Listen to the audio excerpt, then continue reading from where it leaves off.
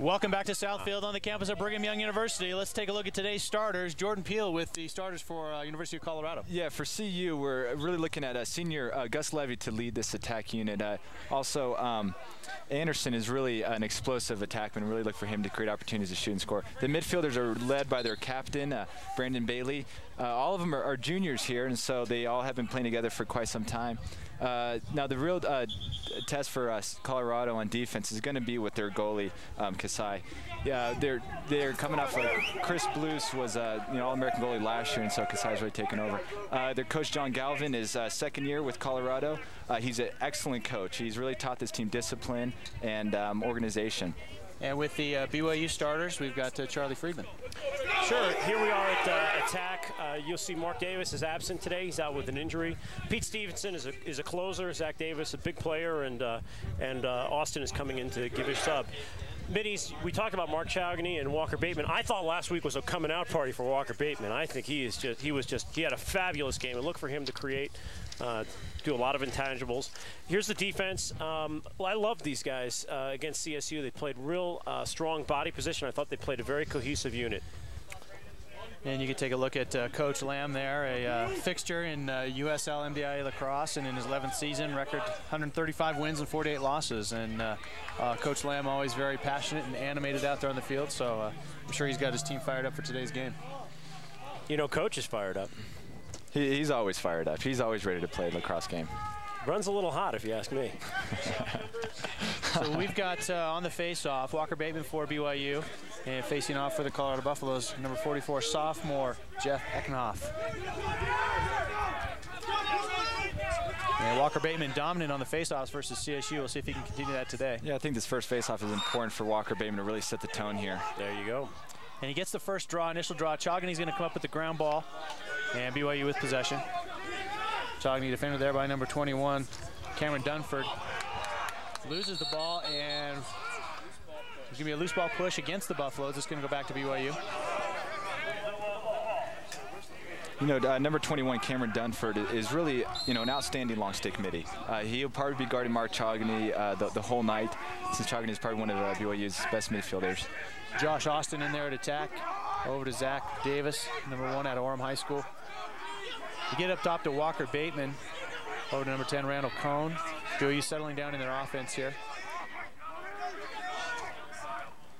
And Cohn just moving it around a little bit, trying to isolate Bateman up top. Going into a 1-4-1 set. Bateman going to the right, taking it to the left with a nice dodge. Tries to fling it over to Chog, and he can't quite get it to him. Chogany looking for the loose ball, can't get it. Number 36, Strino for Colorado coming up with it, defended there by Davis and Austin. And they ride him right out of bounds. So yeah, it's, going to go back to BYU. Great ride. I mean, that's that's something BYU has done all season long with their attackmen is they're very aggressive on the ride. And it's caused them to get possession back multiple times. And the ball deflected there. Nice play there by Price, the captain defenseman. And knocking it down as Zach Davis was looking for Randall Cohn on the cut. And I think, you know, BYU is uh, missing some of these, um, you know, key attackmen. And so I really think the, the midfielders should be really going to take upon themselves to dodge more and to try to find open men for shots. You know, CSU's playing tough out there. They're, they're holding their, their position. They're moving their feet well, playing good body position defense. So Chogany up to Walker Bateman again. BYU in their offense with an offset midfielder.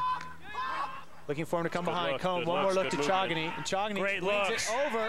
Josh Austin on the corner. BYU strikes early. You know, and that's just an excellent play because every the multiple touches with the ball, Chogany with the great find, and uh, Josh Austin with the great shot. If you're taking a look at this, you know, Mark Davis, excellent heads-up play, finds Josh right there, and an excellent shot.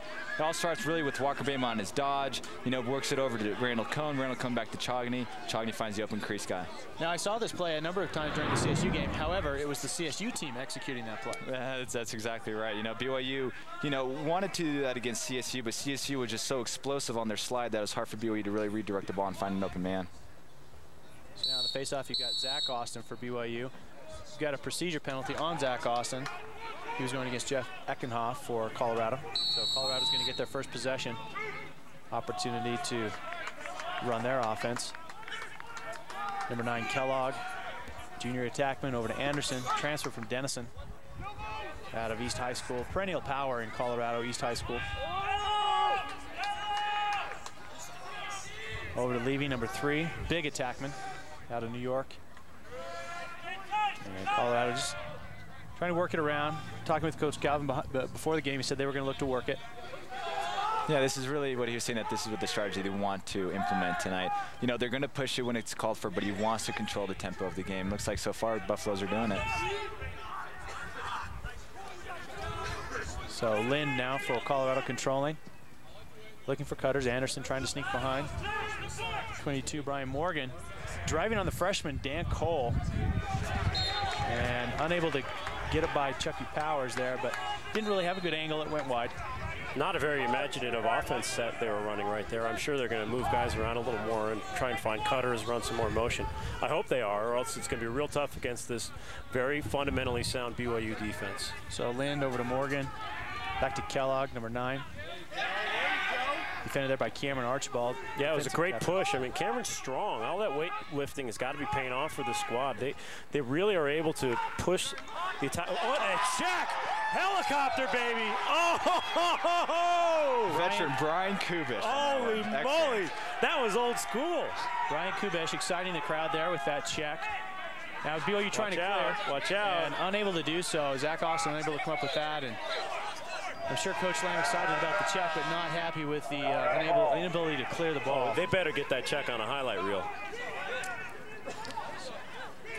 So you've got uh, substitutions coming in. Let's take a look at the replay of that check, Charlie. Oh, I love this. Absolutely love this. Look at this. Check them on the backside. Yeah, oh, snuck it up underneath. Oh my goodness! This is excellent check. timing. Excellent timing on that check by Brian Kubish. Yeah. Defensemen don't get a little a lot of highlight time. No, so, they uh, don't. We'll give them his props there. No, they don't, and they don't with the new sticks that have come out. This, this, the stick design is so weighted towards the offensive player right now that it's really hard to hit those specialty checks as uh, much harder than it was 10 years ago. Charlie, I think you need to share with us your true feelings. Yeah. so yeah. Morgan now for C for CU over to Kellogg. Defended there by Cameron Archibald. Archibald just taking him up one-on-one. Levy. Back up to Morgan. Morgan going against senior Phil McClure. Trying to dodge through two men. Oh, gets it through. through. A lot of guys. It's a nice bounce shot. Just goes wide. I think if you put that on the cage, it would have been in. Yeah, it was, it was, a great dodge, but it seems like BYU's slide just was not very effective. It seems like they're no. just trying to chase his stick instead of really playing positioning. So McClure now defending Morgan straight up. McClure really settling into a very nice defensive middie position this year. Yeah, he really has. Over the past couple years, he's you know he has played the defensive oh, middie role and he's done well at it. But this year, he's really just emerged as really a defensive powerhouse. Kellogg Anderson on that look just misses. Ander oh, Levy in the front. Levy gets loose and puts it by Powers. You know, that, that's something that BYU had trouble against CSU also, is that they're, they're losing their crease men, leaving uh, these attackmen wide open, four feet away from the goal. Uh, you see on the instant replay, you know, Levy was wide open on the crease. It's a great find and just a great shot. Put it right past Chris Powers. When you're, when you're playing defense, especially near the crease, you have got to keep your head on a swivel, looking at the ball, looking at your guy. If not, you're sneaky, and Levy was very sneaky there. It was very effective. Just lost his guy. You can take a look at the early shot total here. Colorado with a two to one advantage. BYU scoring on their only shot. And Walker Bateman again facing off for BYU, controlling the initial draw and unable to come up with the loose ball. Long stick midfielder Cameron Dunford coming up with it for CU. Collins there for BYU. Defending number 44, Jeff Eckenhoff for Colorado. Gets back over to Anderson, number six. Anderson going against Kubish. Just using a little bit of time. Coming is Patrick Jansen, number 45 for Colorado. Gets it up to number 24, Robert Parker. Senior for Colorado, Parker. This is something that CU is really wanting to do, controlling the tempo of the game. Now, this is what their head coach was, you know, talking about, and this, so far they've done. They've been very effective. You know, they get two shots, one goes in, they they miss a cage on the other one, but they retain possession. That's yeah. what can move it around. Well, it takes a lot of discipline. It takes a lot of stick skill, and it's also like watching paint dry. It, it's definitely true. I was never a fan of the slow down offense. It just frustrated too much. I just wanted always just attack and attack. Parker over to Kellogg. Kellogg looking for cutters. Parker gets up to number 45, Patrick Jansen. Going against long stick, Clark Collins, number seven for BYU. when you strike in this type of offense, you want to do it really fast, and you, and you, you hope that what you've done is lulled uh, the defender to sleep. They, have succeeded a few times. That guy was open. Levy was open again on the backside cut there. That Levy is sneaky. Now you've got number 45, Jansen, controlling for Colorado. Gets it over to number 19, Jeff Logan, a junior. And Parker drops that one, but he's going to get his own ground ball. Nice way to pad your stats. And Parker now controlling, going against Jordan Tyre, number 27.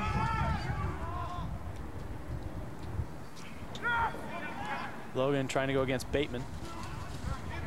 Jansen against Collins. So CU really looking to slow it up here. Looking just for isolation opportunities, mismatches. Well, it seems to me what they're trying to do is run cutters off the top of the restraining box. They're trying to get their midfield open in the middle of the field, draw slides, and dump somewhere close down on the crease.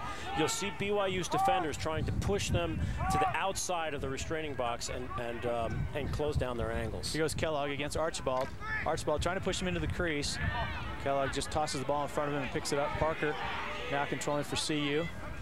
Yeah, I think you're right, Charlie. I think CU is just waiting for BYU to really just fall asleep and mess up in, in mm-hmm. terms of matching up. Yeah. And Harris picking that one off. They were looking for Levy again on the crease, and Harris coming up with the number 33 for BYU. Gets it up to Walker Bateman, number 32. BYU looking to clear. Doing an excellent job clearing this year. Over to Collins, number seven, a long stick midfielder out there on the offense, and not sure that uh, the right personnel was in place for BYU. Yeah, that's exactly what they, they can't afford is something like that, just to return the ball right back to CU. Yeah, well, that too. And CU looking uh, for the fast break opportunity. Fleener trying to find Kellogg and uh, was unable to find him, and it's going to go back to BYU. BYU's going to call a timeout here with seven minutes and 20 seconds left. And take a look at the ground balls in the uh, first quarter. Yeah, if you look at the ground balls, I think this has to do with just CU retaining possession for most of this quarter. Uh, and that's why they have uh, more ground balls and everything. They're just moving around, you know. They're And when they do shoot, they're able to get the back up. When they do drop the ball, they're able to scoop it up without any contest from BYU's defense. So it's going to be BYU opportunity to clear. Um, so far, Colorado looking to maintain possession. BYU had one possession for a couple of minutes, got their goal, but uh, Colorado's controlled since then. I don't see the fire in the belly of BYU the way that I did at the beginning of the CSU game, the way that I did at the beginning of the Michigan game. These guys really got to watch out because they've had a tendency over the last few years to come out a little slow and then come out in the third quarter like gangbusters and try and put it away in the second half. But they got to pick it up here. Uh, the ground ball stat that's one that I love, and that one's scaring me a little bit. It's not, uh, if you if you haven't guessed, I'm a bit of a BYU homer here, but uh, but uh, I think everybody knows that. But um, props to Colorado. They they've hustled, they've out hustled on on ground balls right now. They're also winning faceoffs, I think. Yeah. So BYU CU tied with one goal apiece here with seven minutes 20 seconds left in the first quarter and uh, Colorado controlling possession thus far. BYU is going to have an opportunity to clear. And, you know, Charlie, I don't think being a homer is a bad thing. You're right up there with Chick Hearn and Hot Rod Hundley. So, uh, you know, it's you're in good company, I think. I'm the hometown broadcaster. You can't expect any more. So Brian Kubish now going to take it for the Cougars. There's a good shot to Josh Austin. He's uh, playing attack, scored that first goal, but uh, normally playing midfield this year. Dangerous pass. I think Coach Lamb is arguing that uh, CU is offside, and I think he has a valid point also. He does. He certainly does. Josh Austin receiving that pass. I think he looked up and was looking yeah, for the guy to come footsteps. Nice check by Zach Davis. Zach Davis with an aggressive ride Beauty. going off the Colorado Beauty. player's stick, and it's going to be retained by BYU. I love that over the head what, check. once again, as Charlie said, you know, props to the attackman for BYU on an aggressive ride and able to get the ball back. I hated aggressive attackmen on rides. But it, I loved it because they ordered, you know, when I messed up and they got the goalie saved it or something, the attack ride, we get the ball back, I get another opportunity to shoot, Well, so I that's loved it. Most attacks are, are patsies when it comes to rides. They're just not going to ride you very hard. BYU's attack has been really tough on rides. Yeah, it's something that BYU hasn't had for the past few years. It's great to see it. Freshman Zach Austin now controlling for BYU at the top of the box. Defended there by number four, Scott Cadiz. Scott Cadiz out of Smoky Hill High School in Colorado. Tough guy. Moved his feet really well. And Josh Austin going against number 36, Strino.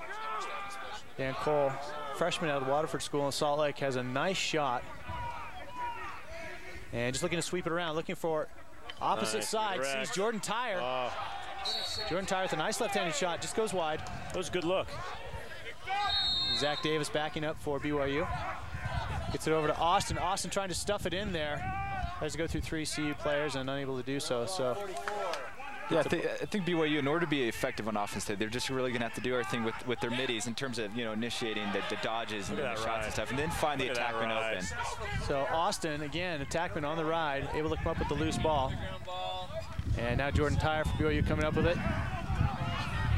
And it's Pete Stevenson now Pete coming fine. up with it, trying to go through the middle with the bull dodge and unable to do so. Number 21, long stick midfielder Dunford coming over for CU. Oh, look at that. And sloppy, the goalie, sloppy, throws it right out of bounds.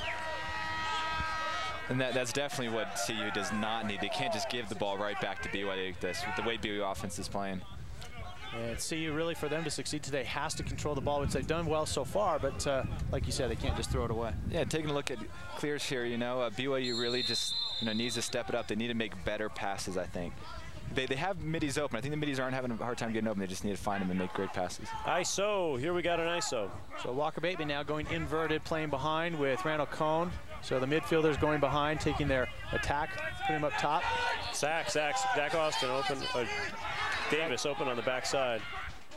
And Bateman trying to find a cutter, but uh, too many defensive sticks there. And that's the same problem BYU had against CSU. They just could not find the open shooters. Look at these rides. Zach Davis again on the ride for BYU. One issue when you go inverted on offense is you've got your attackman now in the zone and uh, midfielders late getting back. So CU substituting, which is fortunate for BYU because they are able to get their midfielders back. So CU slowing it up as substitutions come on. Anderson over to Levy. Levy already with a couple of opportunities so far today. Going against number 44, Hutton. That's a big attackman, Levy. Hutton back in after being injured uh, early on in the season. Bateman defending number 25 there, Brandon Bailey. And Morgan for CU. And leaving number three back over to Anderson. Anderson going against Kubish. BYU defense playing very fundamental position defense. I think we have another couple minutes before we see anybody attack. Yeah, well, you never know. I mean, they could strike. They certainly want to put you to sleep. Kellogg defended there by Archibald. And here's Anderson again. And Morgan ends up with it up top. And CU has circled the ball now four times. Go for five, guys. Go for five. And now Levy going against Paul Hutton. Hutton, a big defender. He is a big guy. All-stater out of oh, nice run, Timpview nice High dodge. School. It's a good job by Paulie Hutton to get his stick on, you know, leaving his hands there in order to divert that shot away from the goal. So Powers chasing the shot but unable to come up with it. You can take a look at the shots here so far. So Cohn going after that ground ball, um, unable to come up with it. You know, I, I, agree with Charlie. I think that there is that kind of fire missing in this team, and I honestly, I think it starts with the defense, because this is this is a group that really needs to be hustling and aggressive and, and physical in order for BYU to stay in the game. Because CU has the talent and shooters to score goals. And Lynn defended there by Randall Cohn, and we get a flag with possession. The flag with possession. Colorado is going to be man up you know, I don't think this was intentional. I think it was just kind of, uh, you know, he, he tripped on Randall's stick or, or something like that. Yeah, I'm not sure I would have thrown that flag. I, I don't, I don't think of, I would I was one either. of the less talented refs in, a, in the local high school league, and I, I admit it, but I don't think I would have thrown that flag. Now, sometimes you just have to let the kids play. Well, yeah. Especially you know. when they're fighting for a ground ball there. Exactly. I mean, I, if it was anything, it was a push from behind with possession. I, I don't know. So Kellogg now. CU in their man up offense. Anderson down to Kellogg. Kellogg trying to jam it in. Powers in great position. And knocks it out of bounds. It's going to go back to CU. Do you think that CU has played BYU a few times? Oh, for sure. Oh. I mean, they, they, are playing absolute textbook how to play BYU, how to keep a game close, especially an away game. close against BYU. They're just holding on to the ball, playing ball control. BYU for the, I think BYU for their offense to work, the, the offense has just got to have the ball on their sticks, and they have to get knocked around a few times, pass the ball around a few times for their big guns to come awake. I agree. That off that, that attack line just gets frustrated sitting there looking at people passing the ball around. I get frustrated sitting there looking at them pass the ball around. Bailey with a shot off of Scott Lawler's hand, and uh, goes back to CU. Morgan to Bailey. Bailey, nobody on him. Great position, but just a poor shot that went wide. Not a lot of pace on it, not a lot of accuracy on it. You know, so far I'm not too impressed with the, the kind of shots we're seeing from CU. You know, they're really missing the goal by a few feet, and they need to really get on target here if they want to come out the victory. Bailey over to Morgan. Morgan, again, just wide. I'm not Powers so sure all over it. Chris Powers has even really moved that much No. on, on any of these shots. I'll tell you, that was one of the things that I thought was uh, characteristic of the, of the Rams, Colorado State, is their shooters were placing it right where they wanted it. Yeah, they didn't really worry about velocity. It was more just placement. Nice that was what they were Chuck. concerned about. And there was it worked Anderson for him. with a nice save there by Chucky Powers. And we've got two minutes left here in the first quarter. Scott Lawler now clearing for BYU. Very athletic midfielder Lawler, freshman out of Highland High School. Utah. And he does a clear all by himself, gets it up to Mark Chogany. I'm proud of all these players from Utah on this squad. Utah High School lacrosse has come a long way. Chogany, a senior out of Bingham High. Spent a year at uh, UMBC back in uh, Baltimore. Fine Division One program back there. Now Davis settling down for BYU. They're looking to get into their office, looking to get a quick opportunity here with a minute 30 left in the quarter. Try and take a lead. Zach Austin. Oh, to Zach Davis. No relation because their last names are different. Jordan Tyre controlling up for Zach Austin. Good defense. Push there, remains control. Whoa, how did Splits the defenders. Now he's got four guys rock, on move him. the rock, move the rock. How about Gets that? Gets it back to Jordan Tyre with the left-handed shot right to Kasai. Stick side mid-level. You just got to put that on the ground. And Oh. Kasai again throws it away. Kasai is having stick problems, I think. I, I don't think he his stick is working for him because he's just throwing these balls away, giving them right back to BYU. That is that. If I'm the Colorado coach, that is killing me If, right if now. I'm a long stick defender for Colorado, that's killing me. You take a look at the uh, shots on goal here early on. You know, Colorado has more, but they're just not hitting the cage. You know, they're missing by a good few feet. Cole defended there by Dunford. Jordan Tyre. Going with the left. Nice Over to look, Cole nice top look. with the rotation. And Dan Oh, Cole with a nice high, shot, too but high. it just just over. he would have had it if he. I don't think the goalie stick was on that uh, was on that shot. I think it would have been in just a little high.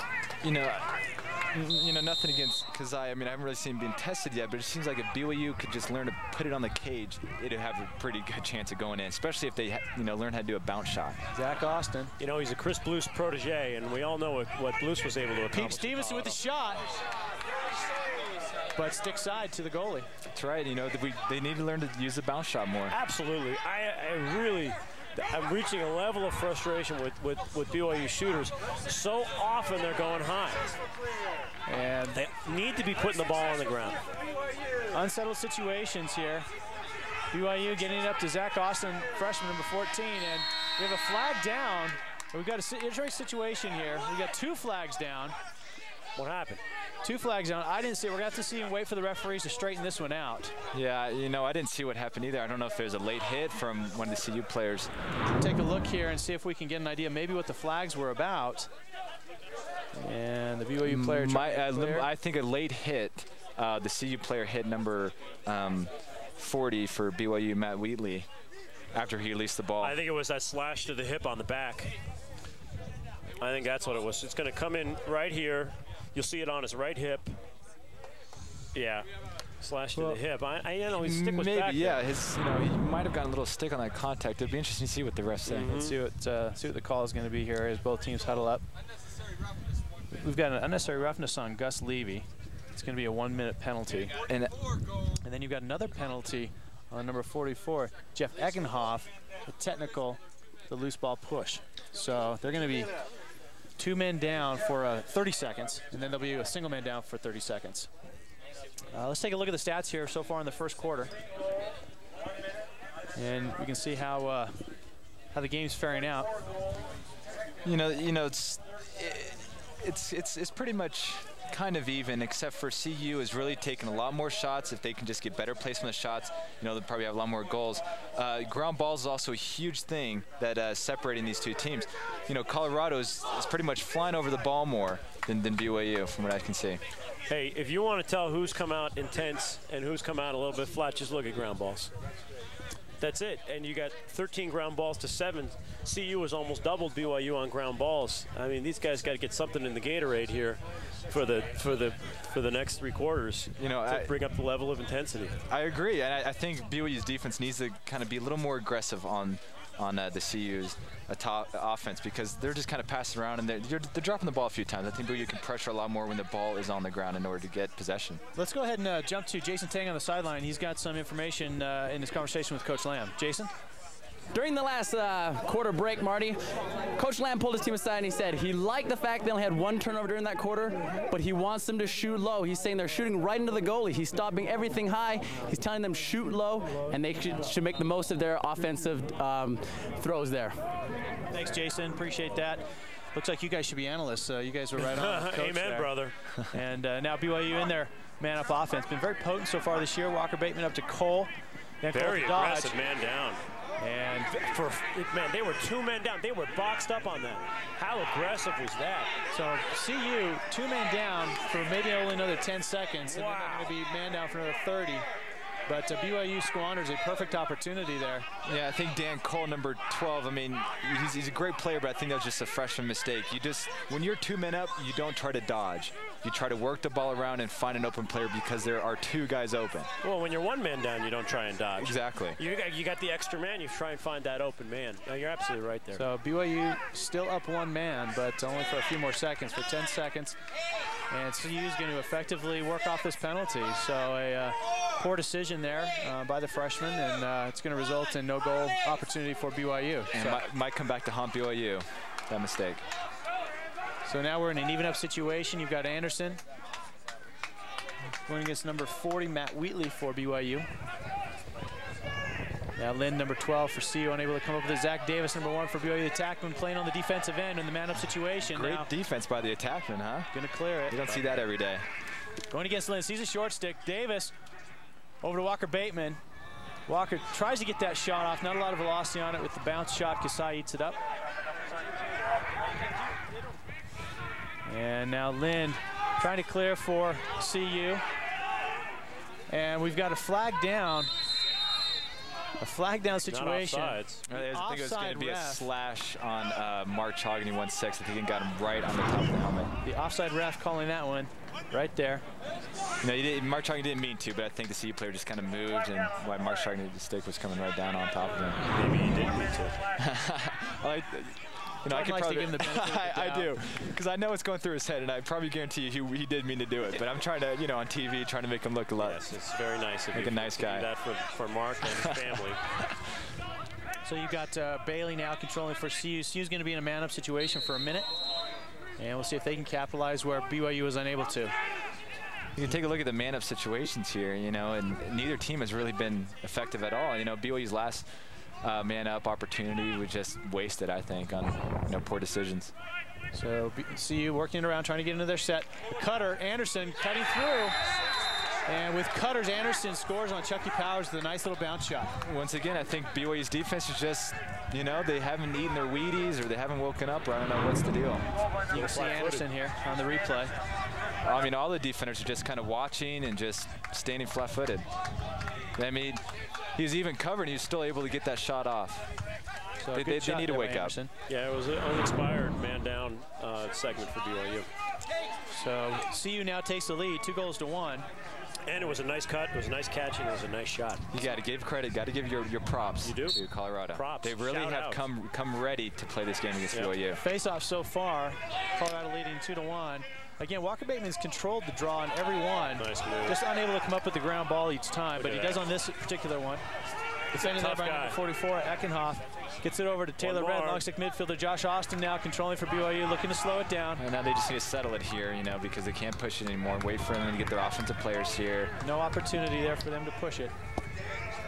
And get their first line midfield in with Mark Chogany, number 16, and Randall Cohn, number 10, coming in for BYU. Zach Davis going against the junior captain, Tapey.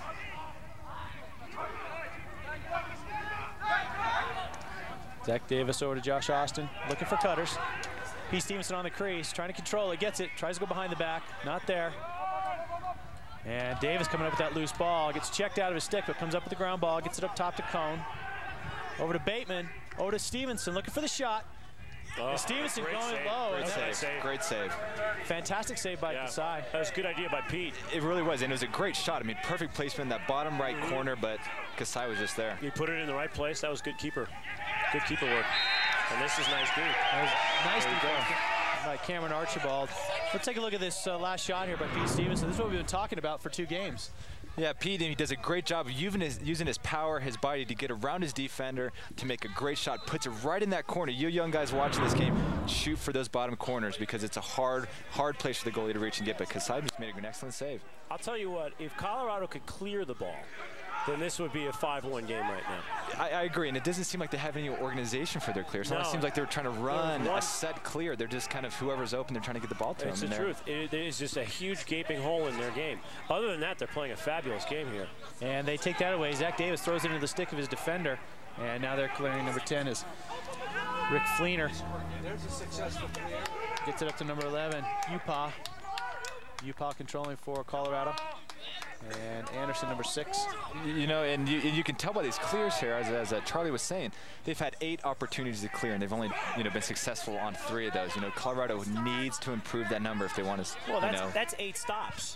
I mean, it's telling your defense that you've stopped them eight times and you've only been able to get it out of your zone Exactly. three times. That's tough as a defender. That that really that really grinds at you. and that really might take a toll on them, you know, throughout the game if the defense continually has to see this. You've got uh, 10 minutes here remaining in the second quarter. Colorado controlling. There's Kellogg going against Cameron Archibald for BYU. And see looking to work it around, gets over number 45. Jansen, Jansen with the shot, just goes wide. You know, Chris Powers had a great look at that shot all I the mean, way BYU through. is going to take that shot. I mean, that's o- that's okay. Yet you want him shooting from that. I that totally area. agree. You know, you have that open lane, nobody's in front of you. He might even could have taken a couple steps more, but you just got to let it rip sometimes. And now Anderson caught between two defenders there for BYU. Ball is still loose. And Jordan Harris coming up for BYU gets it, rolls it over to Powers, number two. Gets it over to oh. Bateman, unable to handle it, and goes out of bounds for Sloppy, BYU. sloppy, sloppy. It was a good look by uh, Chucky. Just unable to handle that one, goes back to uh, Colorado.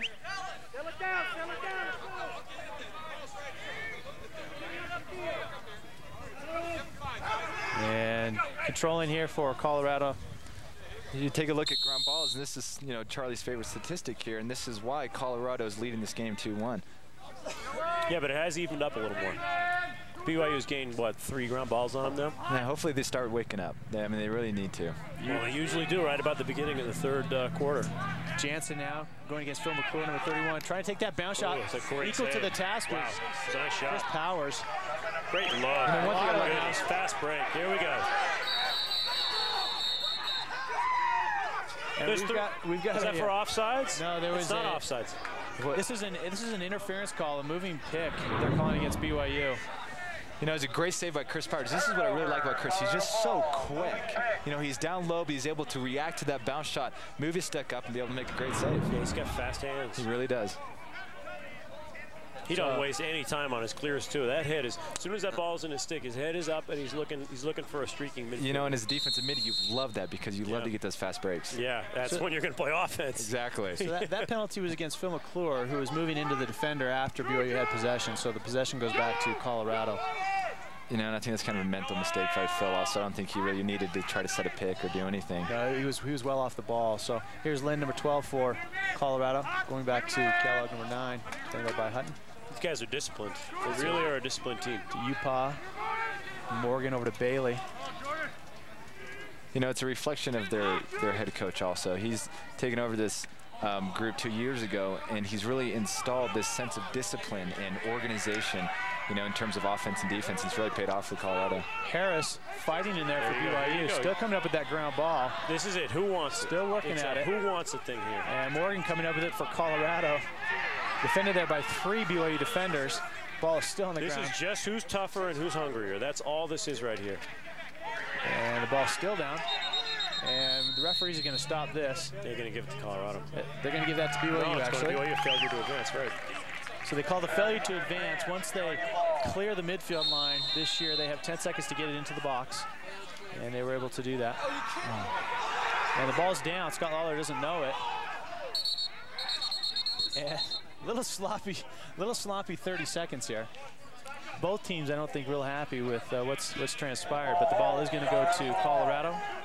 You got to give credit to Lawler, number 11, trying to clear that ball. However, I just don't know if that was a smart thing to do to try to dodge through, you know, two, three Well, he Clark likes Buffaloes. he likes the bull dodge. The per, you know, uh, from, from what I can see, the only person on this Cougar squad that's really mastered the bull dodge is Walker Bateman.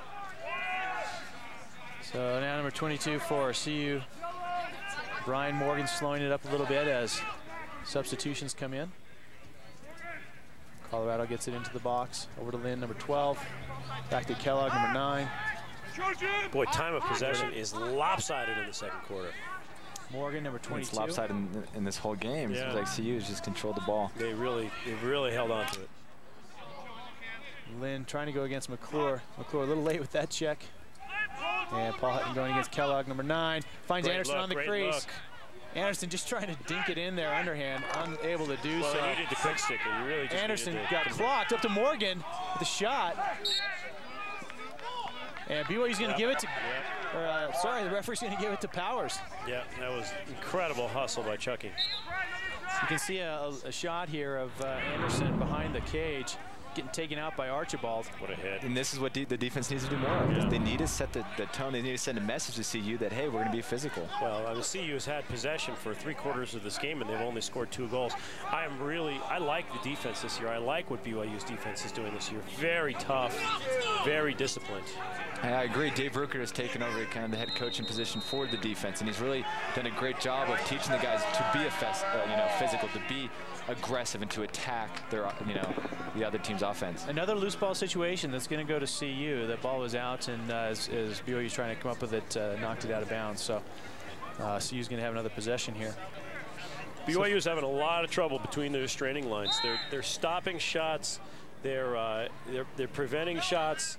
Um, they're just not able to get into their offensive set. Yeah, it really hasn't been you know very a pretty game so far. You know, in terms it's just been kind of little sloppy here and there. You know, the you know f- fights for the ground balls. You know, as we just saw, passes being you know thrown out of bounds and. So ball's going to go back to BYU. Brian Kubish now handling it for BYU. And the stoppage of play. And the referees are giving it back to Colorado. They're saying that the ball was tipped by BYU. Really? So That's interesting. Yeah. I don't. Our producer in the truck is uh, agreeing with the referee, so we'll certainly give them the benefit of the doubt. We missed it, but uh, it's going back to CU nonetheless. But since they have you know five cameras, 20 TV sets in the truck, go off what they say. That's right.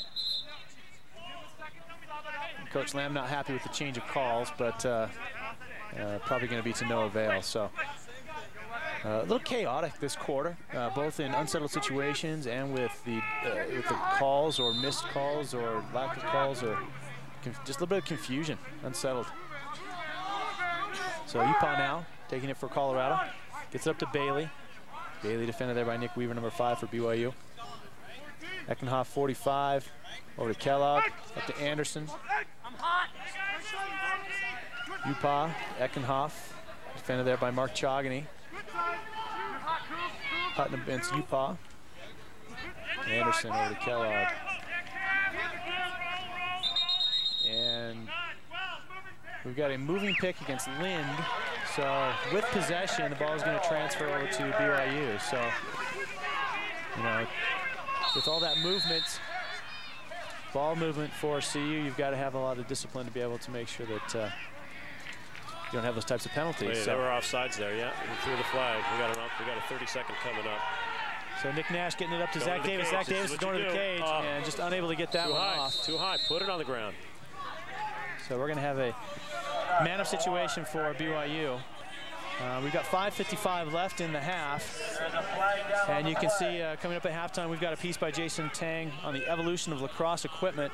We're going to have uh, interviews with both coaches, Coach Lamb and Coach Galvin, and then we're going to uh, review the stats and highlights with our uh, featured uh, broadcasters, Jordan Peele and Charlie Friedman. So stick with us during the halftime.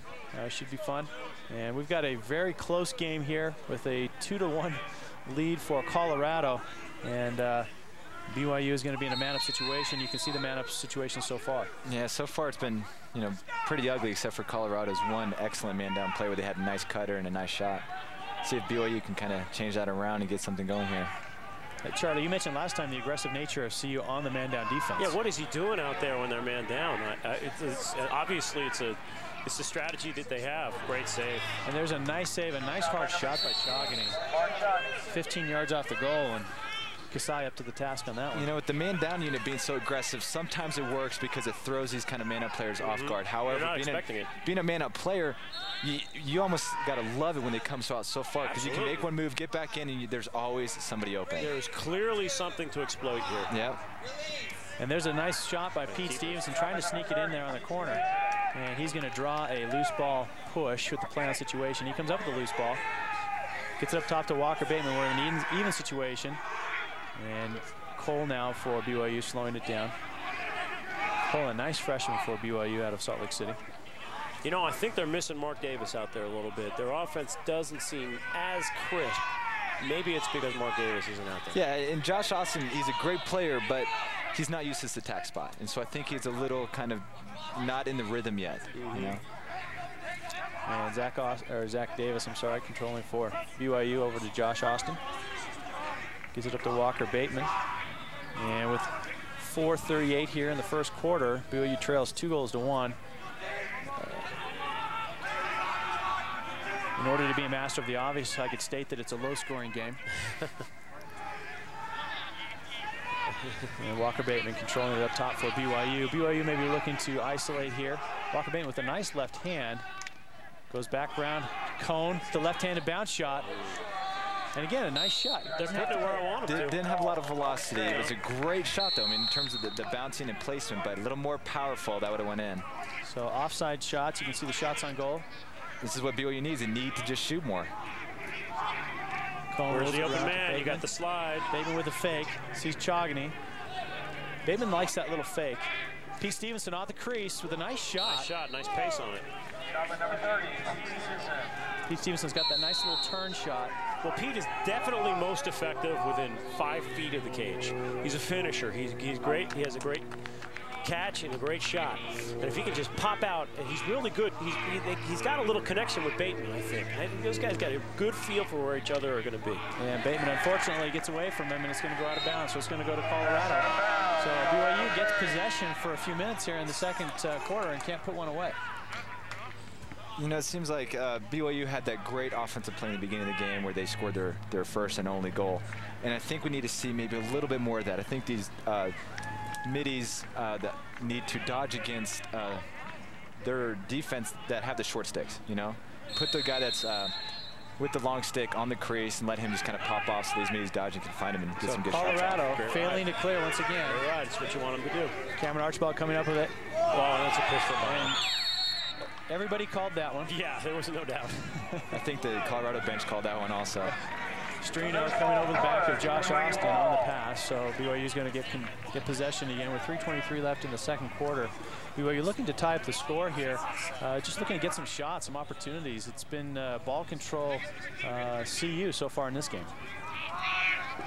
Jordan, what you say about BYU offense is absolutely correct. They, BYU has had terrific athletes. Now I'm talking over the last five, six years. Really good athletes and generally superior athletes to the other teams that they play and, and have fallen into a temptation, I believe, to, to play one-on-one lacrosse, to trust their guys to be able to dodge. At this level now, the way that the MDIA is, MDIA is playing right now, I don't think that you can do that. I think you have to move the ball. I think you have to be able to make four passes. That's when you're going to convert. And there's Chogany with a split dodge. I that, that's exactly the kind of offense that, that I think we're talking about right. here. Is that they, they need to dodge, but instead of dodging to dodge against one, two, three guys and shoot, they need to dodge. Their Colorado is sliding so fast that if they're able to see that slide, they can make a nice pass over, maybe another pass and find an open shot like this one right here.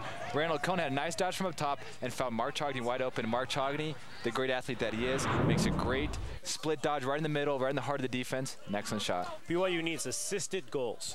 They need to move the ball two, three, four times and then the shot. Not these, not these, you know, ISOs off of the top where you're dodging four guys and then taking the shot. Yeah, defenses nowadays are just too good. They're too good. They're, They're too, too good. You have They to play team draw them to one side and then exploit their weak side. So BYU coming up with this face-off. Walker Bateman not winning the draw, which is the first time so far, but uh, BYU coming up with the face-off, which is the important look, thing. nice look.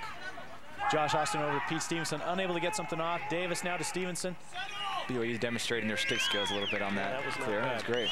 Stevenson showing some good maturity there as the senior because uh, it looked like he really wanted to pull the trigger, but uh, thought better of it. Well, he's got to get down on the cage. He, he really, he should have two, three goals. A, g- well, he usually does two, three goals a game. But his most effective was he's popping out, catching, and shooting. Yep. John Cutting right behind the defense, trying to get open. He's, a, he's really great at that kind of stuff. Dreyer There you go for BYU. Oh, put it on the cage, Pete. He found Stevenson right where he wants to be and uh, just unable to put it on the cage. So uh, another good offensive set for BYU Yeah. as uh, Dreyer finds Stevenson.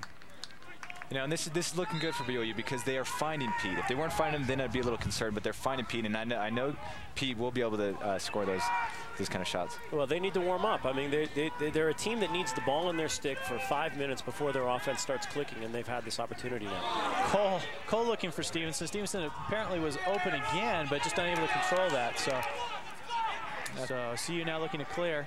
I think sometimes BYU just needs to realize they're actually playing a lacrosse game, and it seems like they're starting to, to, to find that out. Dunford now for CU, unable to control, and Tough again, ride, tough ride. again CU unable to clear the ball. Another stop, and uh, just unable to get it uh, across the midfield line. So, long stick midfielder Dunford unable to control for Colorado. Minute 47! Minute 47! I, for one, am very surprised that this game is 2-2 right now. And Cole over to Dreyer.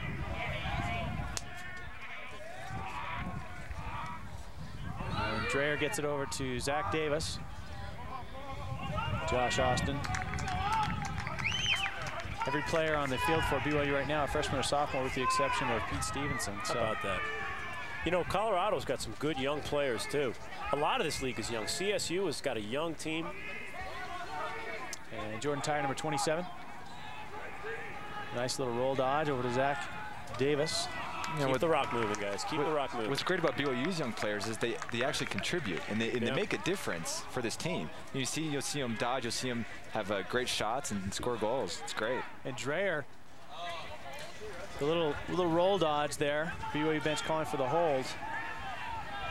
And Jordan Tyre now with 54 seconds left here in the first quarter. BYU looking to go up by a score of three to two if they can get a goal here. well, that would be a big lift. Yeah, I think J.M. Dreyer has found that he can actually dodge against number four, and they're probably going to try to do it Good again. Stevenson. Oh, Pete. He's, just, he, he's close. He's inches away from the cage. If he can just get on cage, Yeah, I mean, he'll have, you know, seven, eight goals tonight. He needs to skip halftime and uh, shoot. And uh, they've got a, uh, they found something here, something they can exploit. They're getting the ball to Pete Stevenson. Trying to get those quick shots off there on the crease is a difficult task, but he's doing a good job of it. You can see the, the shot totals. Yeah, it seems like BYU has, uh, you know, crept uh, past uh, Colorado in this, and I think half of those are from Pete Stevenson on the crease. So BYU's been able to control the ball the last uh, five minutes or so here in the quarter, which has given them shot opportunities they haven't had really up to this point in the game. It's a very encouraging last five minutes. You know, Jordan, when you were talking about young players at BYU contributing, this is a very deep lacrosse team. They've got a, they've got a, they can go into the third line middie easily and and have guys come out and make plays. That's why an up-tempo game really, especially well, Colorado plays and practices at a pretty good altitude. Also, I was going to say especially in this altitude, but an up-tempo game favors the depth that BYU can put onto the field.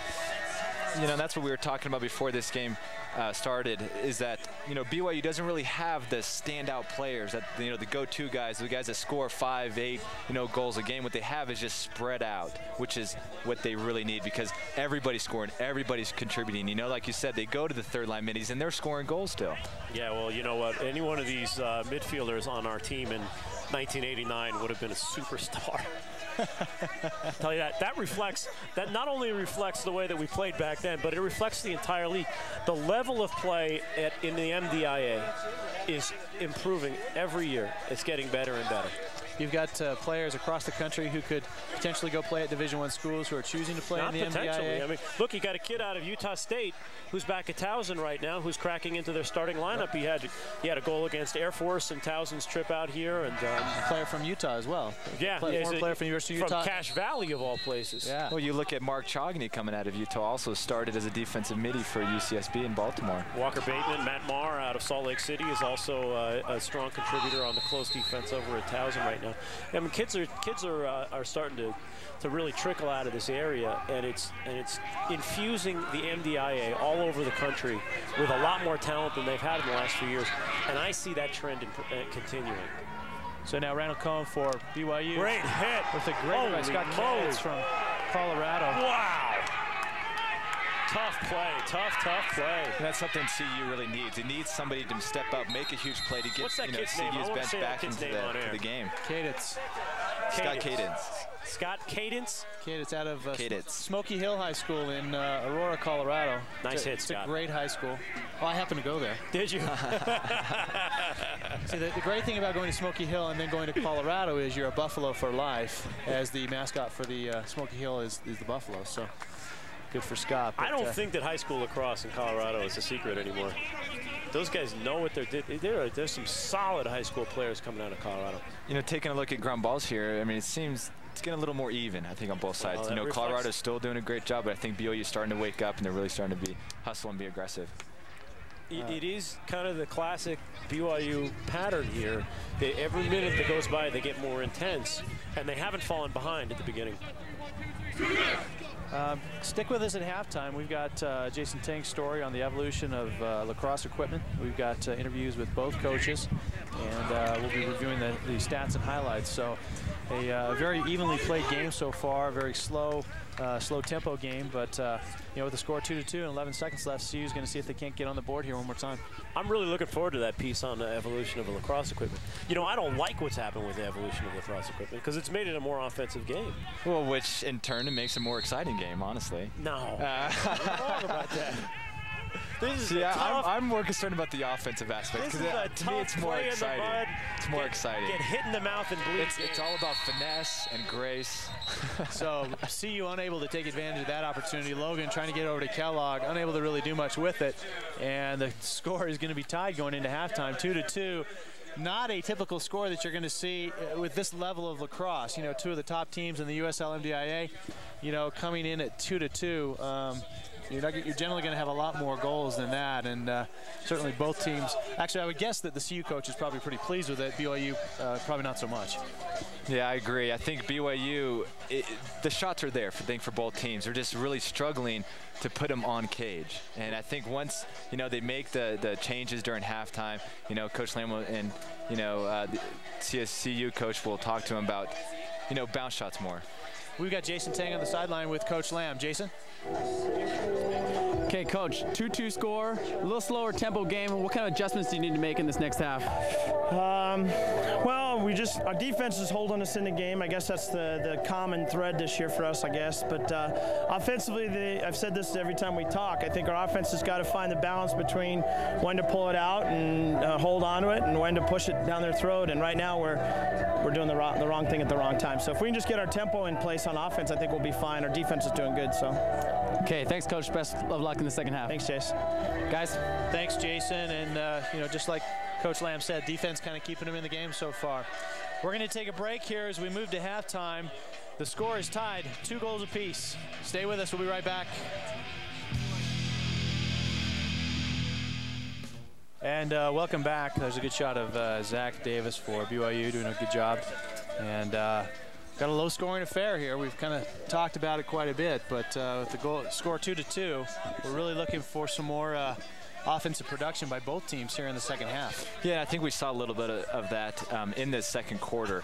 Uh, they started to shoot more. They're starting to take uh, more dodges, more shots, and as CU's uh, head coach said, that they want to look for more opportunities to attack the cage and get more shots off. Well, they certainly have ball control. They have the ball enough to be able to take those opportunities. They just weren't doing it. They were passing the ball around the circle, very complacent, not a lot of movement, and uh, you know, uh, you know, like Charlie said, kind of watching the paint dry. But uh, hopefully, we'll see a little bit more up and down pace from both teams. Hey, listen, it's tough to knock that style of play. It may not be fun to watch, but it's disciplined.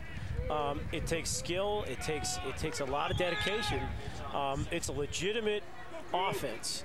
Um, to run. And to me, the, the big storyline of the second half is how disciplined can Colorado be? So on the faceoff, you got Walker Bateman for BYU and Jeff Eckenhoff for Colorado. And Bateman again controlling nearly every faceoff. So you faceoff guys, what's he doing out there? It's a secret, Charlie. I don't know. what is he doing? I mean, he's he's just able to rake it out right behind the uh, the CU faceoff man. It, it just looks too easy. Faceoff guys never give up their secrets, Charlie. I know they don't. And Walker Bateman now going to the left, looking for that left-handed shot, swings it back to Cohn. And that's been an effective uh, set for BYU, and they're going to get a penalty. Pete Stevenson open in front, and he scores. BYU's going to have a man-up situation on the slash, and Pete Stevenson putting BYU up early here in the second half. Yeah, taking a look at this goal. This is great. Great job by Walker Bateman, not only to dodge, get the ball back, but also to find Pete Stevenson wide up on the crease. Pete uses his big body in order to get past the defense. You could argue that that was a push from behind 32nd right there on the shot. I think the refs just felt bad for him since they already threw one flag. I, I, love that Walker Bateman to Pete Stevenson connection. Bateman's able to with his with his stick fakes, and he and he he's able to. He has this fake pass. It's very effective. It's something that he's practiced. It's a it's a weapon in his arsenal, and he gives Pete just a little bit of time with that fake to separate from his defenseman. And it doesn't take a lot of space if you know how to pass and catch. It doesn't take a lot of space for for a, for a good crease attackman, which Pete is, to convert a nice feed. And BYU seemed to found a uh, something they can exploit within the CU defense as, as, Pete Stevenson's probably had a half dozen shots in the last three minutes. So uh, BYU goes up three to two.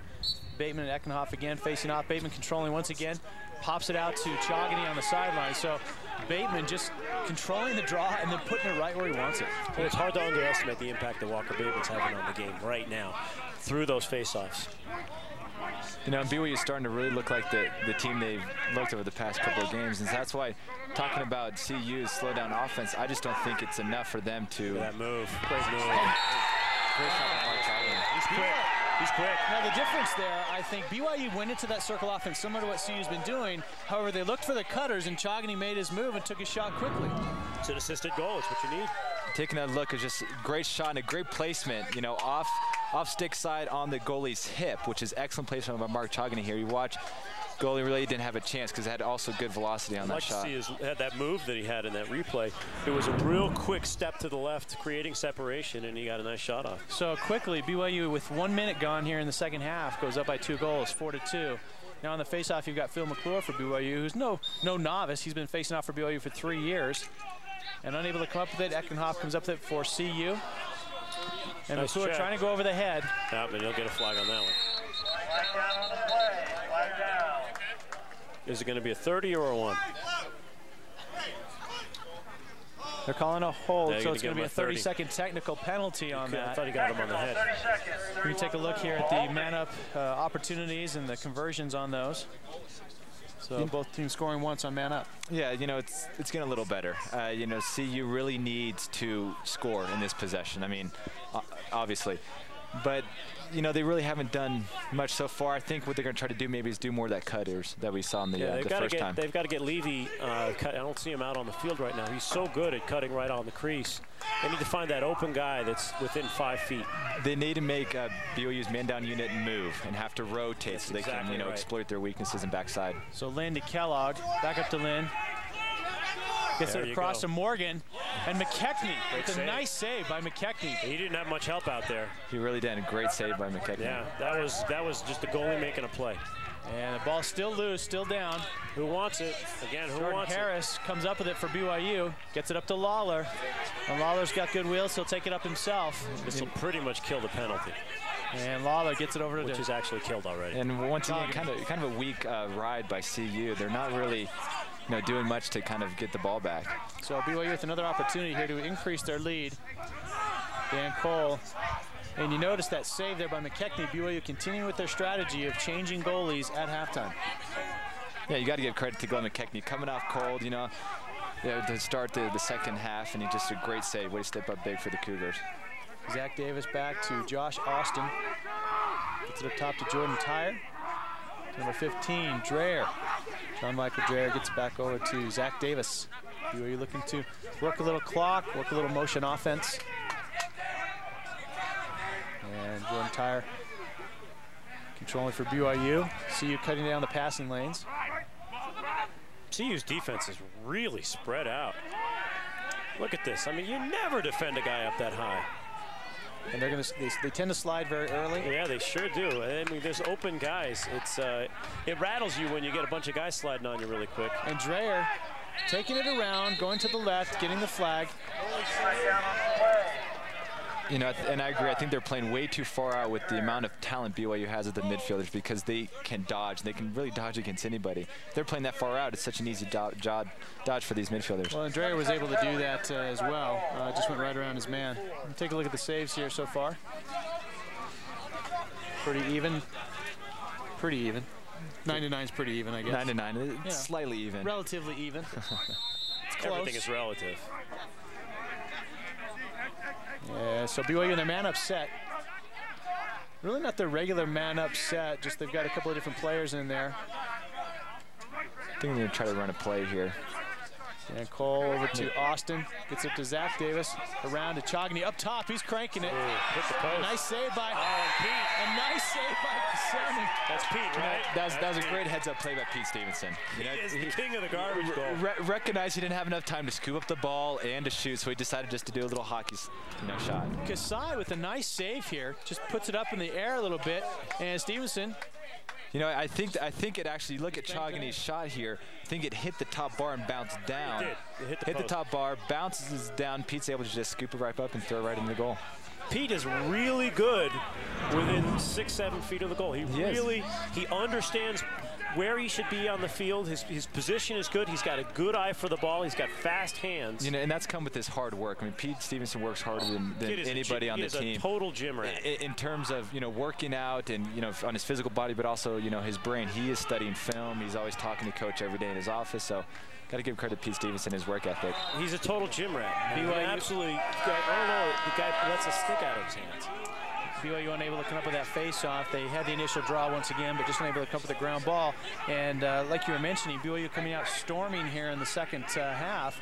Three quick goals within three minutes and uh, lead five to two. Well, this presents a real problem for Colorado. Their game plan is to hold on to it, control the pace of the game, put in shots, I don't know, every minute minute, minute and a quarter.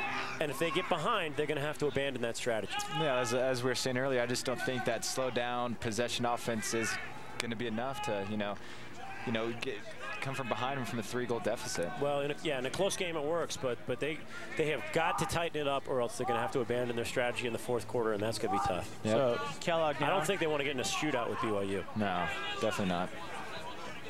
Jansen for Colorado controlling. Over to Parker. Throw to Jansen. Jansen going against the freshman Scott Lawler. Lawler's strong.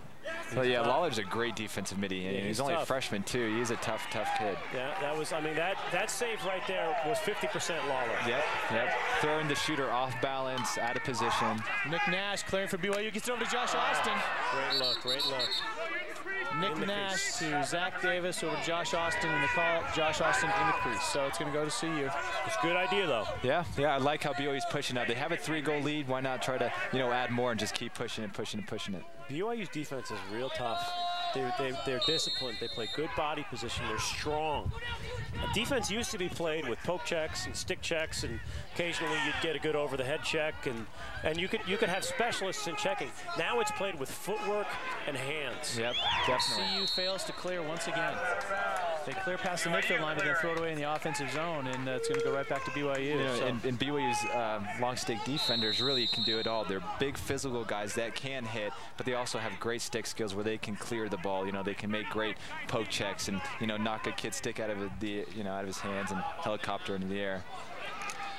So Chogany trying to split two players and unable to do so. The ball's loose on the ground. Coming up at number 35 for CU, that's Keith McClone. And Kellogg now settles down for CU. Nice Going- check. Nice check. Going against Jordan Harris out of Arapahoe High School in Denver, Colorado.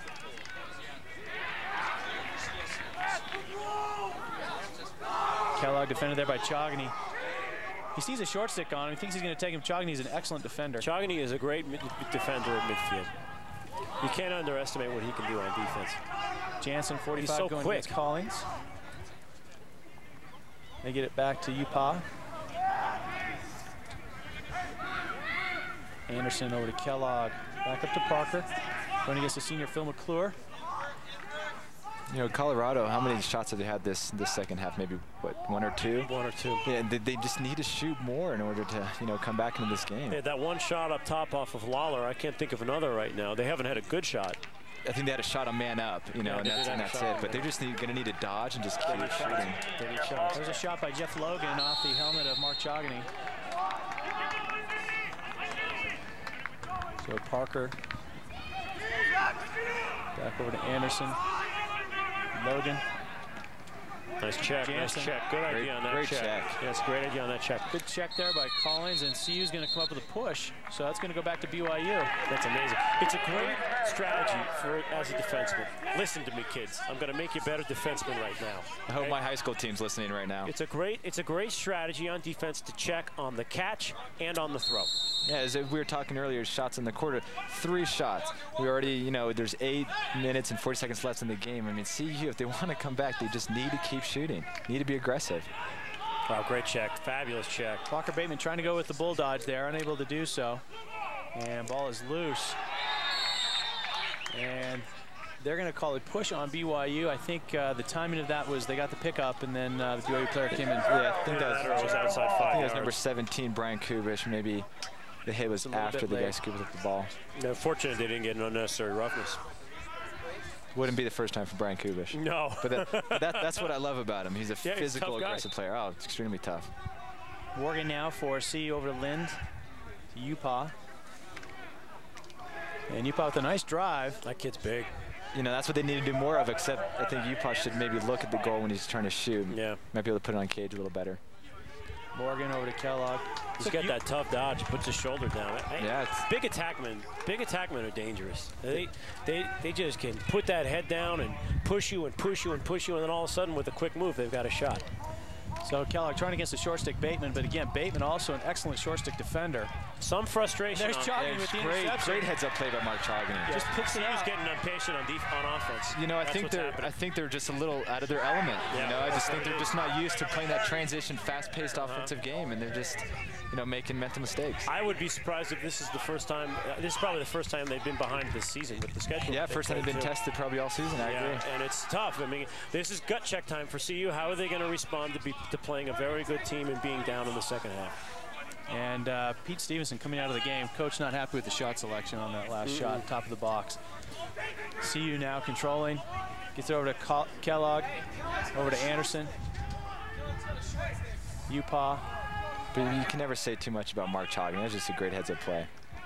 Upa trying to go through three defenders. Tough D. It's tough D. You know, that's what BYU needs to do with those big aggressive attackmen. They just need to be extra more aggressive and physical just to knock them over. Yeah, but again, CU is not picking their shots. They're, not, Yeah. they're just not picking their shots. They, they look like they're not sure what to do. Yeah, You it's, it's well, they've got to switch offense. They've got to switch their offensive sets. They've got to run a motion now. They've got to attack the cage. I agree. You know- BYU, BYU swarming on defense. They really are, and that's that's what uh, Charlie was saying is that you can't just have one guy just dodge with everybody else kind of standing around. No, no, you BYU need to dodge with a purpose, either to shoot or to pull it back out when the slide man comes to redirect the ball to pass it up to find the open man. So you can see the uh, clear opportunities for the game. Clears getting a little better. CU still, I just don't think they're just being too aggressive on clears. Even the rides here, that's probably the most aggressive we've seen. pretty You know, the, the whole game, that one right there. You know, and look, it paid off for them. They were able to get the ball back. Well, BYU's ride was very unimaginative right there. You got to find the open man. I mean, uh, this bull dodging around the uh, around the midfield line, it ain't going to work. That's Yeah. not going to take them to the to the championship game in blank. So BYU now on the defensive side of the ball. CU has an opportunity to clear. Well, they're going to hit. Uh, they're going to hit the far side. There you go. You just redirect it. They're going to be able to clear it. And Levy back in the game. He's been out for a quarter and a half. Yeah. Well, he's a good weapon for them. Substitute one big attackman for another. Upa and Levy, both both big boys in there. Logan. Over to Jansen, number 45, slowing it down for CU once again. Six minutes left here in the third quarter. And BYU leads five goals to two. Logan. Over to Morgan. Back to Anderson. There's a Oh, flag what's that down. flag for? There's a flag down. Look at Levy just dropping his shoulder and going. BYU has too many men in the field. Oh, That's that what the penalty is? is for. Yeah, yeah, I was wondering why their defense was looking so good. yeah. There are too many men on the field. The player was going to come off, and uh, the BYU coach just said, just stay there. We're going Once to get the the, flag is down. anyway. Yeah. This is a 30-second technical, isn't it? I believe so. Yeah. So 30 second technical, too many men on the field.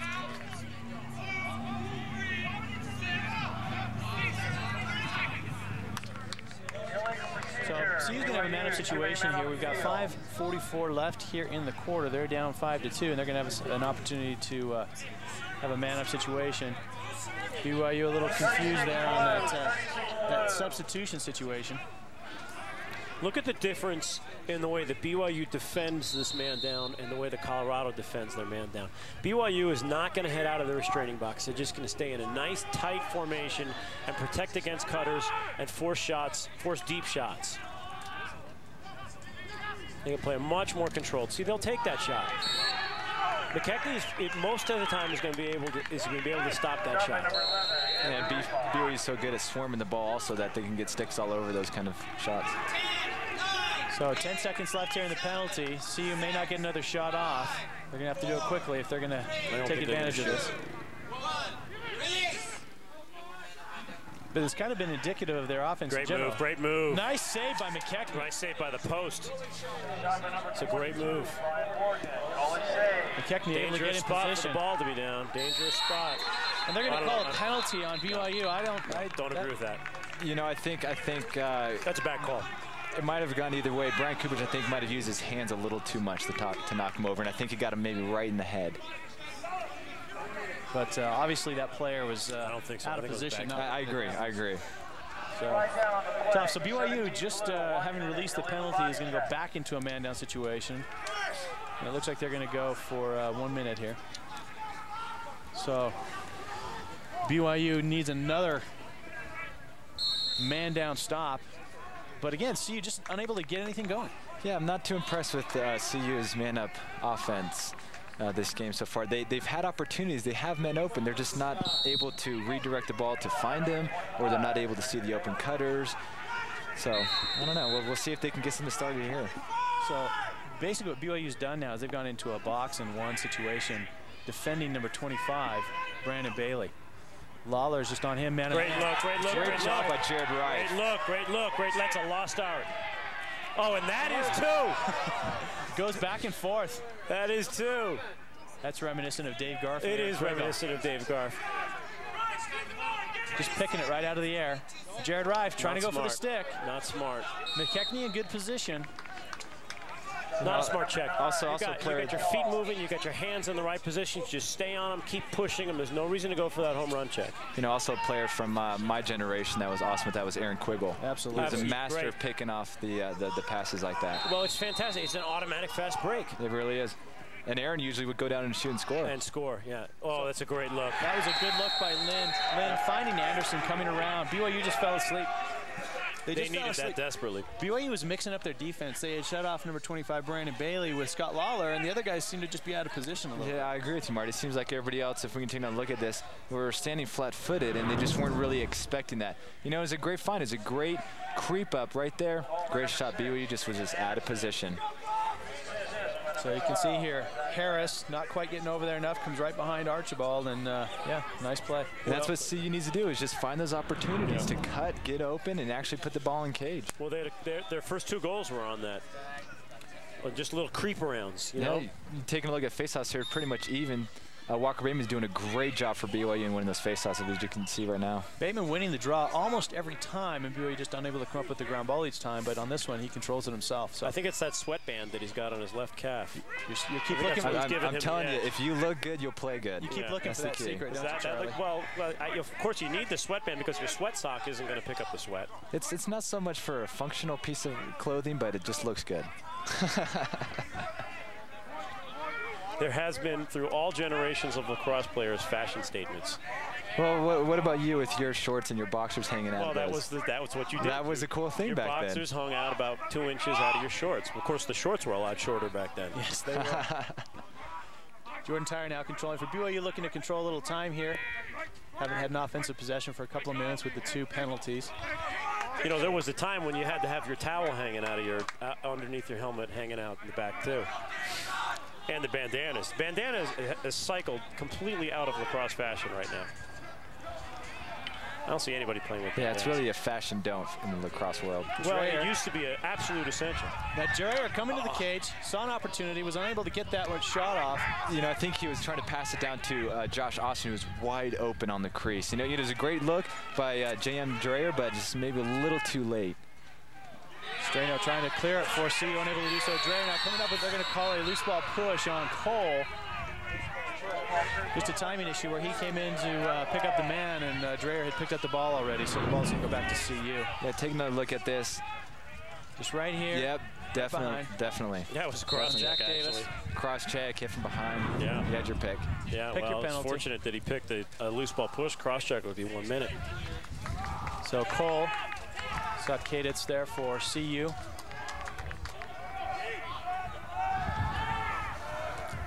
And Anderson slowing it down for CU. CU's doing what they have to do to get back in this game right now. This, this has been a good four minutes for CU, clawing their way back. So two minutes left in the uh, two minutes and 20 seconds left here in the third quarter. BYU leads five to three. And Kellogg to Jansen, number 45, defended there by Jordan Tyre. He's got a short stick. Is that a short? Yeah, he's got a shorty. He's going to try and go. Tyre's a good defensive midfielder. Yeah, he is good. That was nice. He So- shaded him, forced him back. That was perfect position. He just forced him to the outside, didn't let him roll in. And there's Logan, loses the ball on the face dodge, and coming up with it is Cole. BYU has numbers going the other way. Oh, Cole man. and Dreyer. You got a five on four situation, six on. And Cole fakes it, goes behind the back. There's a six on four also. Wow. Grant Cole fakes the cross pass, goes behind the back to Josh Austin. Josh Austin goes low and scores. Tough sequence. Great, great transition uh, play by BYU. Very good. Taking another look at, you know, Dan Cole with a nice fake and behind the back. Josh Austin, great pickup on that pass. Good shot, low shot, knee le knee uh, level. Great Off- job by Josh. Offside stick. You know, I was a little actually concerned about what CU was trying to do. I mean, BYU was on a fast break opportunity, transition. They had five guys against CU's um, four guys, and they were substituting in the box, trying to get their long stick on instead of hustling back and trying to play defense. Not a time that you want to be substituting. No, you don't want. No, don't at all. You don't want to lose Not a at man in all. that situation. You know, BYU had a, their other guy trailing, so they were really six on four in that when that goal was scored. So BYU now taking that face off on an illegal procedure penalty. You know, the really good teams, CSU can do this. CSU is very good at this, actually. The really two, the really good teams can create a little bit of magic on the field. That was, that that play had an X factor. It had some pizzazz. Um, it was it was deflating for CU. And they can go out there and they can they can just make great plays. So Cohn now in the offensive position for BYU. Bateman back over to Zach Davis. Over to Randall Cohn. Cohn used to the attack position, played that last year. So it can work from behind, particularly if he's got a short stick on him. Got a shorty, take it. You know, Randall's also a great feeder. He, really has a great field sense, and he can really find the open guys and give them the ball. So looking for an opportunity to go against the short stick with 45 seconds left here in the quarter. BYU looking to add to their lead. Zach Davis up top going against the long stick. Try to get it across field to Cohn. The lob pass ends up in his stick. Tries to get over to Josh Austin, unable Send to. him a buddy pass over there. And BYU is going to have a push from behind with possession. Barely with possession. Yeah, That I, ball was think the rattling ball around his was, stick. it, it was hanging on the edge of that stick. Yeah. It's that new lacrosse equipment. It gives that That, that new grade of lacrosse equipment. Yeah. You can look at this. Yeah, just Blaine push from behind. You know, Josh had possession of his stick. Give me a super light two. Give me a Sammy. With the Sam, that would have been The out of the Sam one, the Sam two. That's right. That would have been out of the That stick. gives the edge to the defender. For heaven's sake, who are we protecting here? Oh, I, I- how does it, how does the Sam give the edge to the defender? yeah. Right, Maybe if he had like a crooked arrow wooden shaft where he could break somebody's limb Hey, I or like something. those. I like those. then he wood might shafts. have an advantage. Those wood shafts used to break a lot. Jordan Tyre over to Chogany. They were also with- heavy. You get strong playing with one of those wood shafts. Looking for one opportunity to score here, BYU. Up top to Chogany, he's going to shoot. Kasai right with the save. Yeah, right into the stick. You know, it's a, it's a great shot opportunity for Mark. I think if you put it on the ground, he's have, he'd have a little more success. He's got to place it better on the cage. Cadence trying to run it for CU. And able to do so. BYU is going to be man up, I think, for a few more seconds. But, uh, I it's going to be a face-off Yeah, there will be a face. We're going to go ahead and take a break. We're going to be right back in the fourth quarter after this. Stay with us.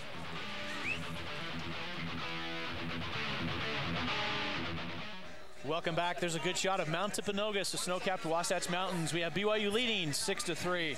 BYU lacrosse has a very unique situation in that they are one of a select handful of teams across the country that have a full equipment sponsorship with STX. STX is an elite equipment manufacturer and has chosen to partner with BYU to help promote lacrosse throughout the West. BYU is thankful and honored for the opportunity to use STX equipment and help them promote the great game of lacrosse. So BYU kind of opens it up here in the uh, third quarter, takes commanding a six to three lead. Certainly not enough, but uh, gives them a little breathing room. Well, it might be enough. You know, you would never say that against CSU going into the fourth quarter, but with, with, with Colorado's game plan, it might be enough.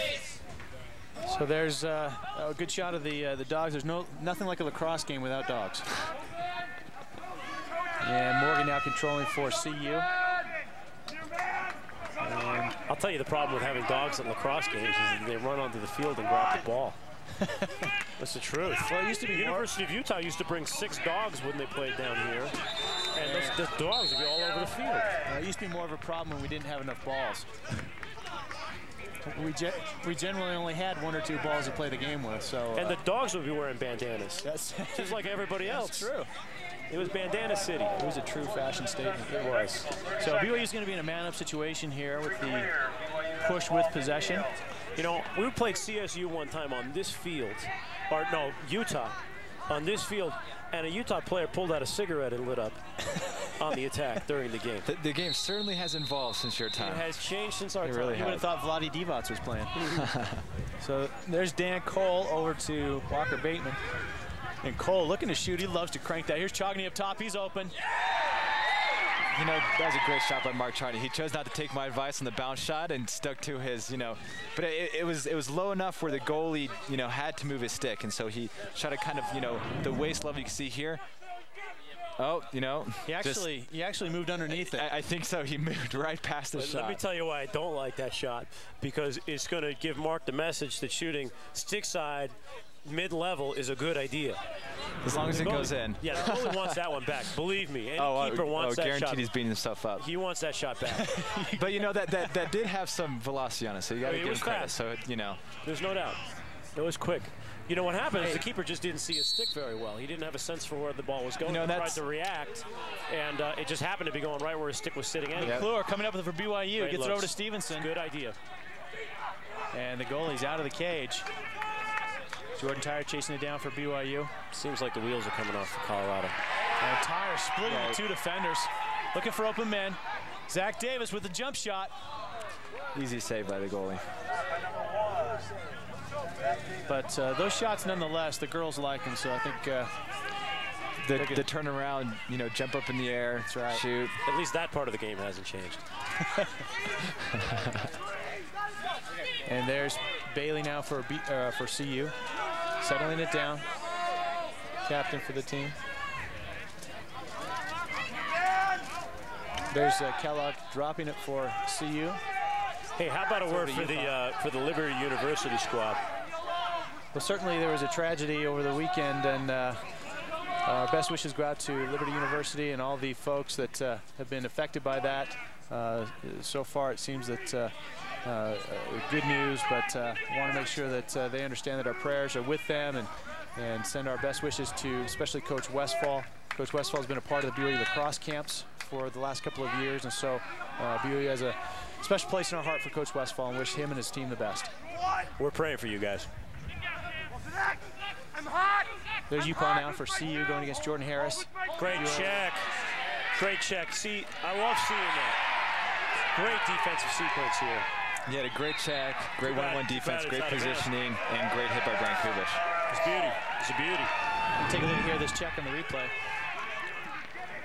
Well, that's the big hit. That's Yeah, a big hit. hit. Brian great hit. Kubish, Yeah. once He's again. a tough guy. He really is. He's a thick guy also. Yeah, I wouldn't want to run He's got into some meat on his an bones. alley. Lynn over from over to Morgan. Where's he from, Kubish? New Jersey. Is he? That There's a explains it. backside cut by Anderson. And Jordan Jordan Harris stuck his hand out to stop that one. Jordan Harris is a longtime hockey player, and I think he kind of got the sports mixed up a Yeah, little he bit on really that did. play. He really did. That's funny. That was just kind of natural reaction. You don't think I about think so. that. I agree. Yeah, Young he- players uh, not allowed to touch the ball with your hand off of the stick. Although I think you are as a keeper in the NLL. in the NLL, well, Not that it matters, but oh, and there's a tweener. yeah, yeah.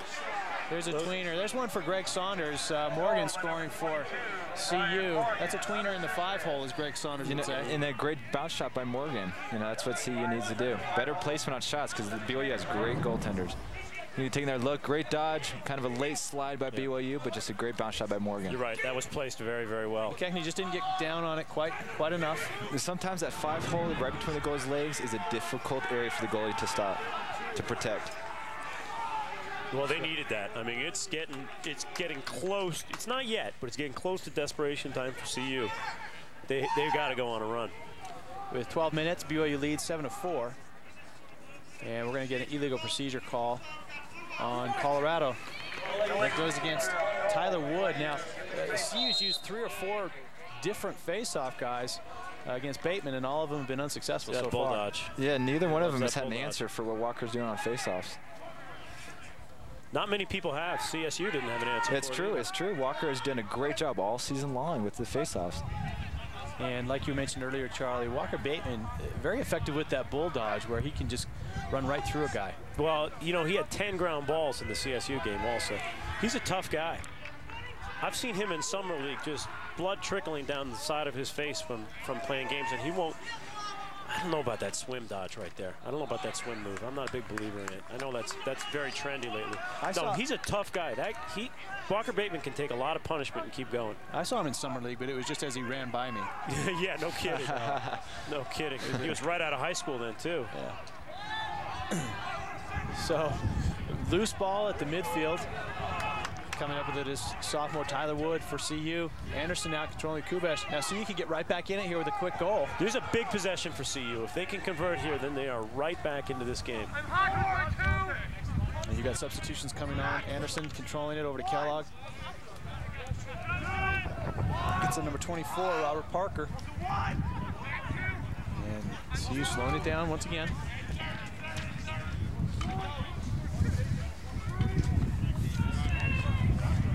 Logan over to Upa. Jeff Logan gets it up to Jansen, number 45. BYU work, or I'm sorry, CU working it around, controlling the ball, but not getting any opportunities. Yeah, well, they got to they got to start striking. I don't even think they're really looking for opportunities. As yeah, it looks like he's trying to now, trying to get something to start with the dodge. Mm-hmm. Yeah, this is sloppy. But And just Very a floor pass. Yep. Nearly barely, goes out of bounds. barely got there. Nice checks, nice checks. good Jordan is check, top. good. Jordan Cameron is Archibald. top. Cameron Archibald with a nice defensive. Did I call him series. Jordan? Cameron. My apologies to Jordan. Jordan Lance Cameron's Jarrett. tough. He's a good defender. is a great defender. He's always all over the field, as you can just see on that play. He's strong too. He's got a great press. He really, he really gets his hands on attackmen and throws them off of their balance. So Lynn controlling for CU. Looking to move it into the box. One thing BYU does so well on defense is understand the areas where an offensive player wants to shoot and force them from those areas. So forcing Lind outside, as you're saying there, Phil McClure. It's all about cutting down their angle. And CU throws it away once again. Ball stays in bounds. Oh, no, it doesn't. No, it doesn't. You know, CU's tough. just, it's, get- it's getting tough. sloppy. I, I don't know if it's just frustration or anxiety or, you know, they, they want to do something, but they're not sure what to do, and so they're making kind of mental mistakes. Well, for a certain, to a certain degree, this is CU's, this is CU's first game. Now, Utah, Utah's a test. I think Utah's a good team this year. I'm a fan, actually. I really am. Utah's is good, but but this is their first game against a truly elite team, and uh, they're going to get better. And, uh, you, and BYU is going to play them again before the season is over. That's for sure. So Kellogg taking on Cole. Cole successful, but uh, not before he got knocked off course there.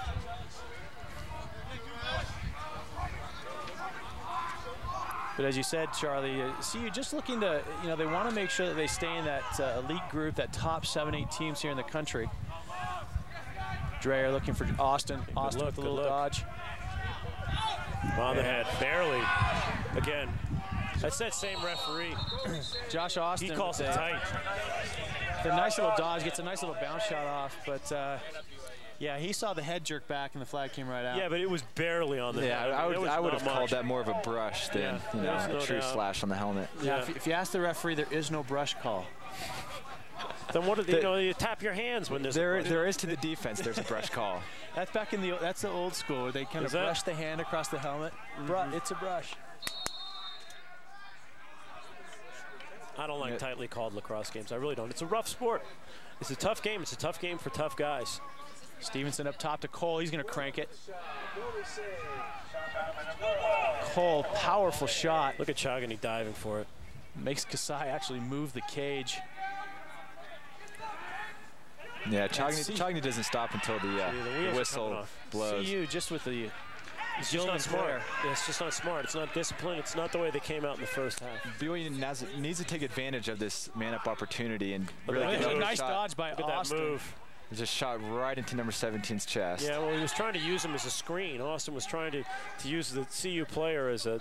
Oh, ouch. And BYU just peppering now. There's Ouch. A lot of open shots, a lot of opportunities, and that's captain Tate Price who took two shots on that series. One, one in the gut, one in the shoulder. Yeah, he, that, that one's going to be purple. That one's not going to be a red one. That's going to be a purple one. Yeah, compa- comparing the man-up situation here, it's it's about even. Both teams not being super effective, although they've had glimpses of success, you know, throughout the game. But nobody's been truly dominant. And Cole getting picked off there by Dunford. There's some effort. There's a little heart. And good ride, good no ride by flag that. That I would have called a flag on. A little, little unsettled play there. getting CU tough. looking for a penalty. And there's Zach Davis slowing it down for BYU. Yeah, I think as time goes down, I think we're seeing more Yeah, man-up opportunities as more penalties are going to be uh, Yeah. happening. And Cole Great check, great check. Love that check. Yeah, Tried the Dan nice- Cole hanging his stick out a little bit Yeah, he left it hanging. It was tried quick. the roll That dodge and hung it out there. Yeah, it was a good dodge, but protect your stick a little better. He'll maybe have an open shot next time. No, that defender knew what to do. He- that was a very, very quick check. Good stick speed there. Probably see Mark Chogany going against the short stick defender, probably try to dodge one-on-one. Great look. Nice look and a nice shot and a nice save. And it was actually a great catch by Walker, Be- Walker Beam. He had like two or three guys hanging off and was able to get that shot off. It was a very quick release. It's very Yep. good. And Good find by Mark Chogany also. looks like the goalie broke his stick on that one. Kasai. So BYU's gonna have another man-up opportunity. Then you look at saves here. Colorado is leading this half. However, I think it's just because BYU is just, you know, exploding in terms of shots. Yeah, They're just shooting left and right. That's not as telling a stat in, in, in this game as you would think. I mean, BYU, that BYU is shooting in the second half means that they have possession in the second half, and when they're winning by three goals, that's a bad thing for Colorado. Exactly. So BYU's gonna have another man-up opportunity. Illegal body check called against the Buffaloes. And they're gonna BYU's gonna see if they can go up, uh, get one more, increase the lead to four. And Bateman now behind for BYU. Gets it over even to Austin. Up top to. Cole. And again, CU pressure, aggressive. pressuring up top, pressuring up Yeah, top. they're continuing with that aggressive They nature really on are, defense. right? I don't agree with it. I don't agree with it, but it has worked today. And we've got a push from behind, so that's going to go to BYU. Loose ball push. I, I think BYU's man-up team is just maybe not used to having you know man-down unit come on pressure so so hard. What they need to do is just you know not hold the ball so much. They need to pass it around quick and fast. Absolutely. The other team doesn't have time to pressure if you move it quickly. And well, it, then and it you're also going to find the open man. So Davis now up to Bateman. And Dan Cole sitting on the crease takes a shot from Cadence number Good idea, though. Just unable to get the shot off. CU with another. They got to clear it. They got to clear it. Good look. Good look. Tapey now for CU. Shoot it, big boy. Shoot it, big boy. Oh, there's a beautiful Oh, a Great save. save by Glenn What a McKechnie. Wow. A beautiful look by Tapey to get it to Anderson, and then McKechnie equal to the Great look. Great look. Watch out. Oh, Archibald oh it wow. over to Bateman. Now to Austin up top. Oh, and there's a beautiful save by Great save. Great save by Kasai. Is that a save or was that? I, I, I think he, He saved that that, one. one. I, I think he read Josh's shot all the way. Let's see. Here we Taking go. a look at it. Josh was holding his stick low, and he Yeah, also he just shot save. it low. was he nice was, save. you know, so Kasai saw it the whole way, was able to get low quick enough and be there when the shot Yeah, was Chris coming. Blues is out there somewhere smiling right now. Exactly, It was a- exactly. it was a very nice sequence on the clear, getting it up to Austin for that shot, and uh, uh, just uh, you know BYU very effective on the clears and the rides this year, which has been a, a real strong point for them. So Michael, John Michael Dreyer now controlling it for BYU. Maybe they're looking to look, use a little bit of time with six minutes left here in the game. I would not push it. I'll tell you that. And Dreyer looking for the open guy it. Austin with the little. And that's a What know, was that? It was pass. a, it was a little what? I was, I was you know, I was going to give him the shot, but a little uh, out of bounds is what that was. nice little dodge, but uh, unable to get it anywhere. You know, we saw some glimpses of good ball movement though by BYU, and it's something they've really done all season long. You know, they're they're really getting better at moving the ball around and trying to find open men. Well, BYU's playing a good game. They're playing well enough to win this game. Colorado, uh, they need some more practice. They need to have a, f- you know, 10, 15 really hard practices before they're going to be ready for the I agree. tournament. I agree. Colorado was called for an offsides there. The BYU bench, I think, called that penalty, but uh, referees got it. They were well offsides, and uh, so BYU is going to uh, change possession to BYU. Well, you know, it might just be a style of play uh, type of a thing. I mean, I think Colorado's always had the athletes and the lacrosse talent to be able to um, maybe run up and you know run a little, run a little more. But they're just not. They're not doing it. They're choosing to slow it down every single time, and they're not getting the opportunities that they need um, to score.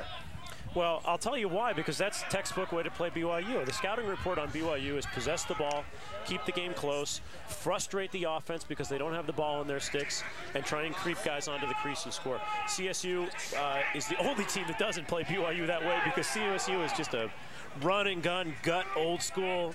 We're just going to score on your team. Everybody else plays BYU, slow down ball. You know, and I think for most part it works. Except what Colorado's doing is they're just not stopping BYU's offense. You their defense is, you know, not playing, you know, good enough one-on-one defense to be able to stop their Dodgers and be able to stop these, you know, the redirect passes where BYU's finding open guys all the time. Well, where BYU has been successful is, you know, Colorado's obviously been successful in their game plan to slow it down, but BYU has controlled the rides and the clears and the face-offs.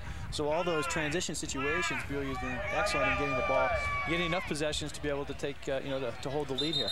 Well, Colorado has to win this game. Colorado has to do what they don't want to do, and that is uh, uns- win this game in unsettled fast break situations and strike quickly on their settled offense. They don't want to do that. Now, there was a slashing call on Kellogg for uh, Colorado, so BYU is going to be up for uh, one minute. Uh, the next BYU TV broadcast is next Wednesday, the 23rd of March, as Brigham Young University takes on the University of California, Santa Barbara, currently ranked number one in the USL MDIA, but will not be in the next poll as they lost to Colorado State last weekend. So that's going to be uh, 3 p.m. Mountain Time, live on uh, BYU TV, and then be rebroadcast on uh, uh, KBYU as well. But uh, join us uh, next Wednesday, that's going to be a fantastic game. Another elite, te- you know, two elite teams that are taking taking shots at each other in the USL MDIA. Yeah, whenever you get those matchups of those top three teams, you know, CSU, UCSB, BYU, it's always going to be, you know, a great game throughout all of four quarters. You know, the last couple of years in this league, it's been CSU and UCSB have been, they've separated themselves a little bit. They've separated themselves from BYU and Sonoma and Michigan and Arizona and Colorado. And, uh, and those guys, they're the two teams with the swagger right now. Colorado, uh, U, uh, UCSB is going to come in here with the swagger. They're going to come in here ranked ahead, and um, that game is absolutely going to be a battle. That's when we that's when we find out what BYU is made of. Yeah, and I like BYU's chances. I mean, they're a great team, a lot better than the past two teams, two, past two years teams. So I'm excited for it. You take a look at ground balls. It's pretty much even. BYU is pulled out ahead, you know, after trailing most of the game. So BYU with the man-up situation for a minute. Uh, Kellogg with the slash. So we are probably going to look to work a little bit of clock yeah. on this man-up. You know, take as much time and then maybe get a shot with about. Uh, you know, 40 seconds. I hate to say it, but uh, because it's not fun to watch, but that's the smart thing to do. And I think Coach Lamb is probably too smart to uh, to tell these guys to just shoot right off the bat. It's not what CSU would do. Those guys are just trying to pound it in the cage. The great thing about CSU is they take exactly what's given to them, whether it be a settled situation, whether it be a man up, unsettled, you know, whatever. They take those opportunities and they capitalize. And there's a nice look by Bateman. Again, Austin not even really looking to shoot that. No, it's it's smart uh, set for that pass right there. What I was going to say is a smart play by BYU. I think we've got that, that woman over there sitting in the chair twice. I think she has a few su souvenir balls yeah, over there. She's going to have a couple of welts. She's going to have more welts than number 17. We just put a goalie stick in her hand. So four minutes and three seconds left here in the in the game. Uh, BYU leads seven to four, and uh, BYU's in a managed situation, but uh, CU looking to clear. How did that guy get open? The CU Bailey is in an absolutely must-score situation right now. They have to. And Curtis Salmon, number four for BYU, defending Anderson, number six. Well, they need to score, and they need to score quick. Oh, taking too much time. Time's just winding down there. Yeah. Somebody just needs to take it upon themselves to make something happen here. Maybe they don't have that type of player on this team. Land over to Morgan. Morgan defended there by Lawler.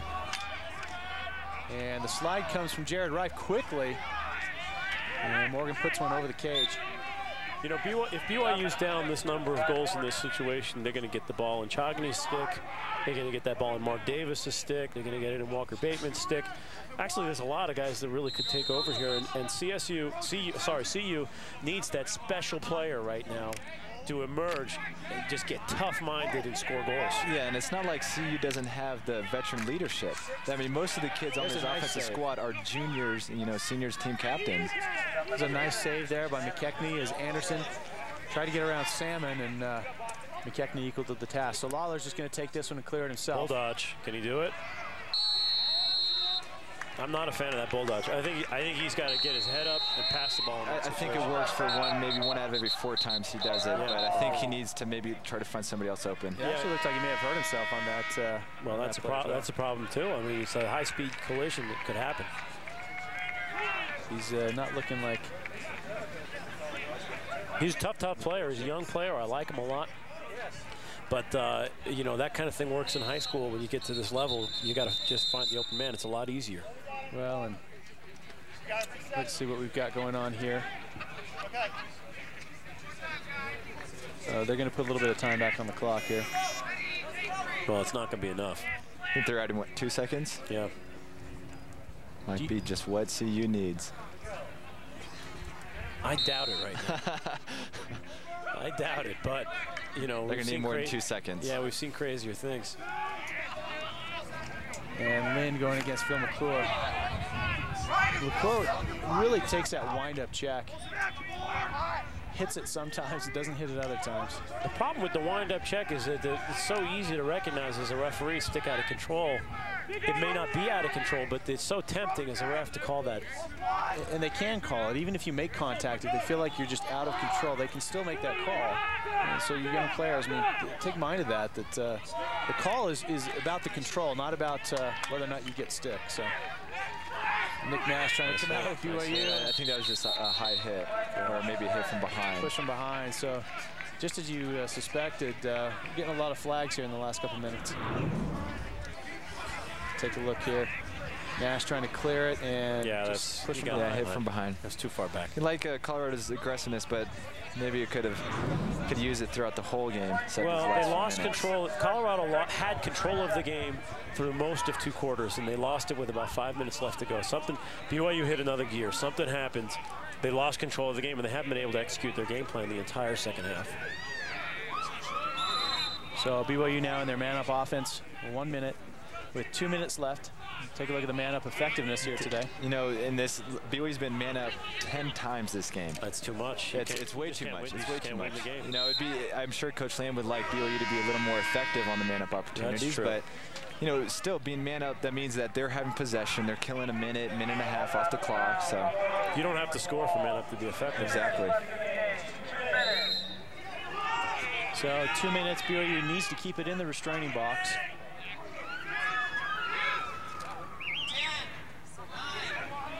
And Bateman back over to Stevenson. And Real sloppy. that's going to go back Yeah. over to CU either Yeah, way. real sloppy. We've seen so many just missed catches. You know, balls thrown away from both teams. We got a loose ball push on BYU. It's going to go back to Colorado. UPod number 11 is going to take it over on the side. Man, he is a load. Bailey for CU going against Collins, number seven. A lot of the second line uh, defensemen getting some play time here. Long stick midfielders. Good to get experience in a tough game like this. Yeah, this is a good game to be in to get experience on. Colorado's skilled. I, I, There's a nice hey, save by Glenn McKechnie. McKechnie's putting together a real good second He second really half. is. You know, Coach Lamb really loves Glenn McKechnie's style of play, and we're seeing examples of it now. Bateman trying to Sloppy, get it up to sloppy, sloppy. Chogany and unable to convert. Chogany's going to push. Great hustle by Mark Chogany. He, he right out really there. I tell plays you with what, his eye. I tell you what, that kid is just plays with passion. He's got a love motor. the game. He really does. He never quits.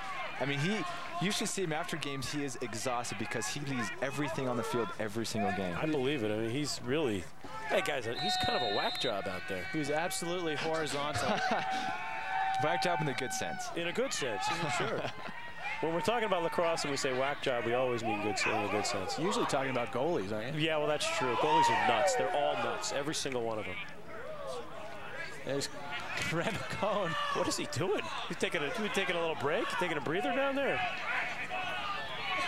CU clearing to Kellogg. 40 seconds left. CU's got to try something here. It's Yeah. too little, too late. And I think they mailed it in about four minutes ago, which is not a good thing. And here's Cohn Great check by Randall getting Cohn it to up get to the ball. Austin. Here we go. Oh, Davis. Oh, and Zach Davis. Zach Davis He's with the got an ball. argument that he was in the crease, and they may be He- right. I'd like you know, to see I, the, th- I think he shot and then slid into the crease possible. a little let's bit. See the, let's see the replay Taking here. a look, you know, gr- great transition play by BYU. And I, be- I believe the rule is such that if the if the Yeah, he ball just kind of- crosses the plane Before and he gets in. before Yeah, gets I think the ball was in the goal before he landed in the crease, so good call by the referees. But that started with Randall Cohn and nice check on the defender. You know, when there's a loose ball, get the ball, throw it back down to Josh Austin. Josh Austin, nice feed up to Zach. Great Yeah. play, great transition play by Yeah. BYU. Now Colorado plays UCSB on Monday. Should be an interesting game. Maybe get a tell for uh, how UCSB is going to be feeling coming into the game with BYU. And then uh, next Wednesday you've got uh, number four taking on number one, currently number one UCSB. Uh, probably fall a couple spots in the rankings. Um, but uh, we should have a great matchup next Wednesday. Again, Mountain Time, 3 o'clock Mountain Time. Yeah, that Colorado UCSB game is going to be an interesting one. Colorado's going to come out, have to come out and, and put together a complete game against UCSB, and they didn't do it here today. Now Colorado losing to BYU, eight goals to four, and uh, BYU, you know, kind of start slow. Colorado really controlled the tempo, but like you said, Charlie, with about five minutes left in the second quarter, they really took off. We're going to be right back uh, with some final stats and thoughts right after this. Stay with us.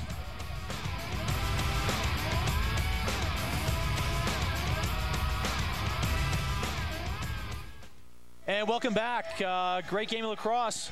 Brigham Young beats the Buffaloes of Colorado eight goals to four. And uh, Colorado really tried to uh, slow it down and uh, really controlled the game for about a quarter and a half. BYU turned it on there at the end of the second quarter and then just came out firing in the second half. That's right. Once BYU decided to wake up, their defense was really just unstoppable. I mean, you're looking at the the stats here, uh, they were all over the field. You know, getting the ground balls. Uh, face-offs is huge, leading 10 to 4.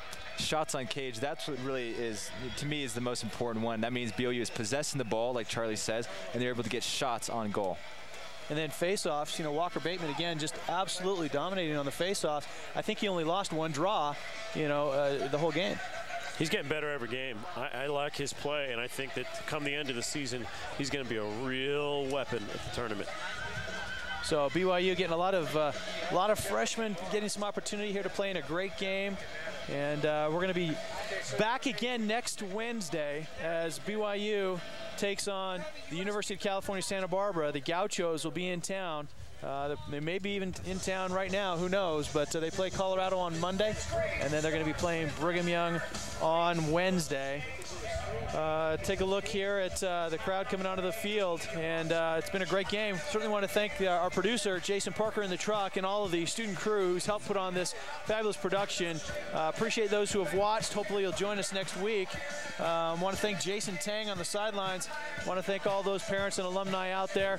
Give the, uh, the proverbial shout out, as it will be, to the alumni, and particularly those who might be in Canada A. And I want to thank my cohorts, Jordan Peel and the legend Hall of Famer Charlie Friedman. Uh, we're going to be signing off here as BYU has beat Colorado eight goals to four in USL MDIA lacrosse. Thanks. We're out.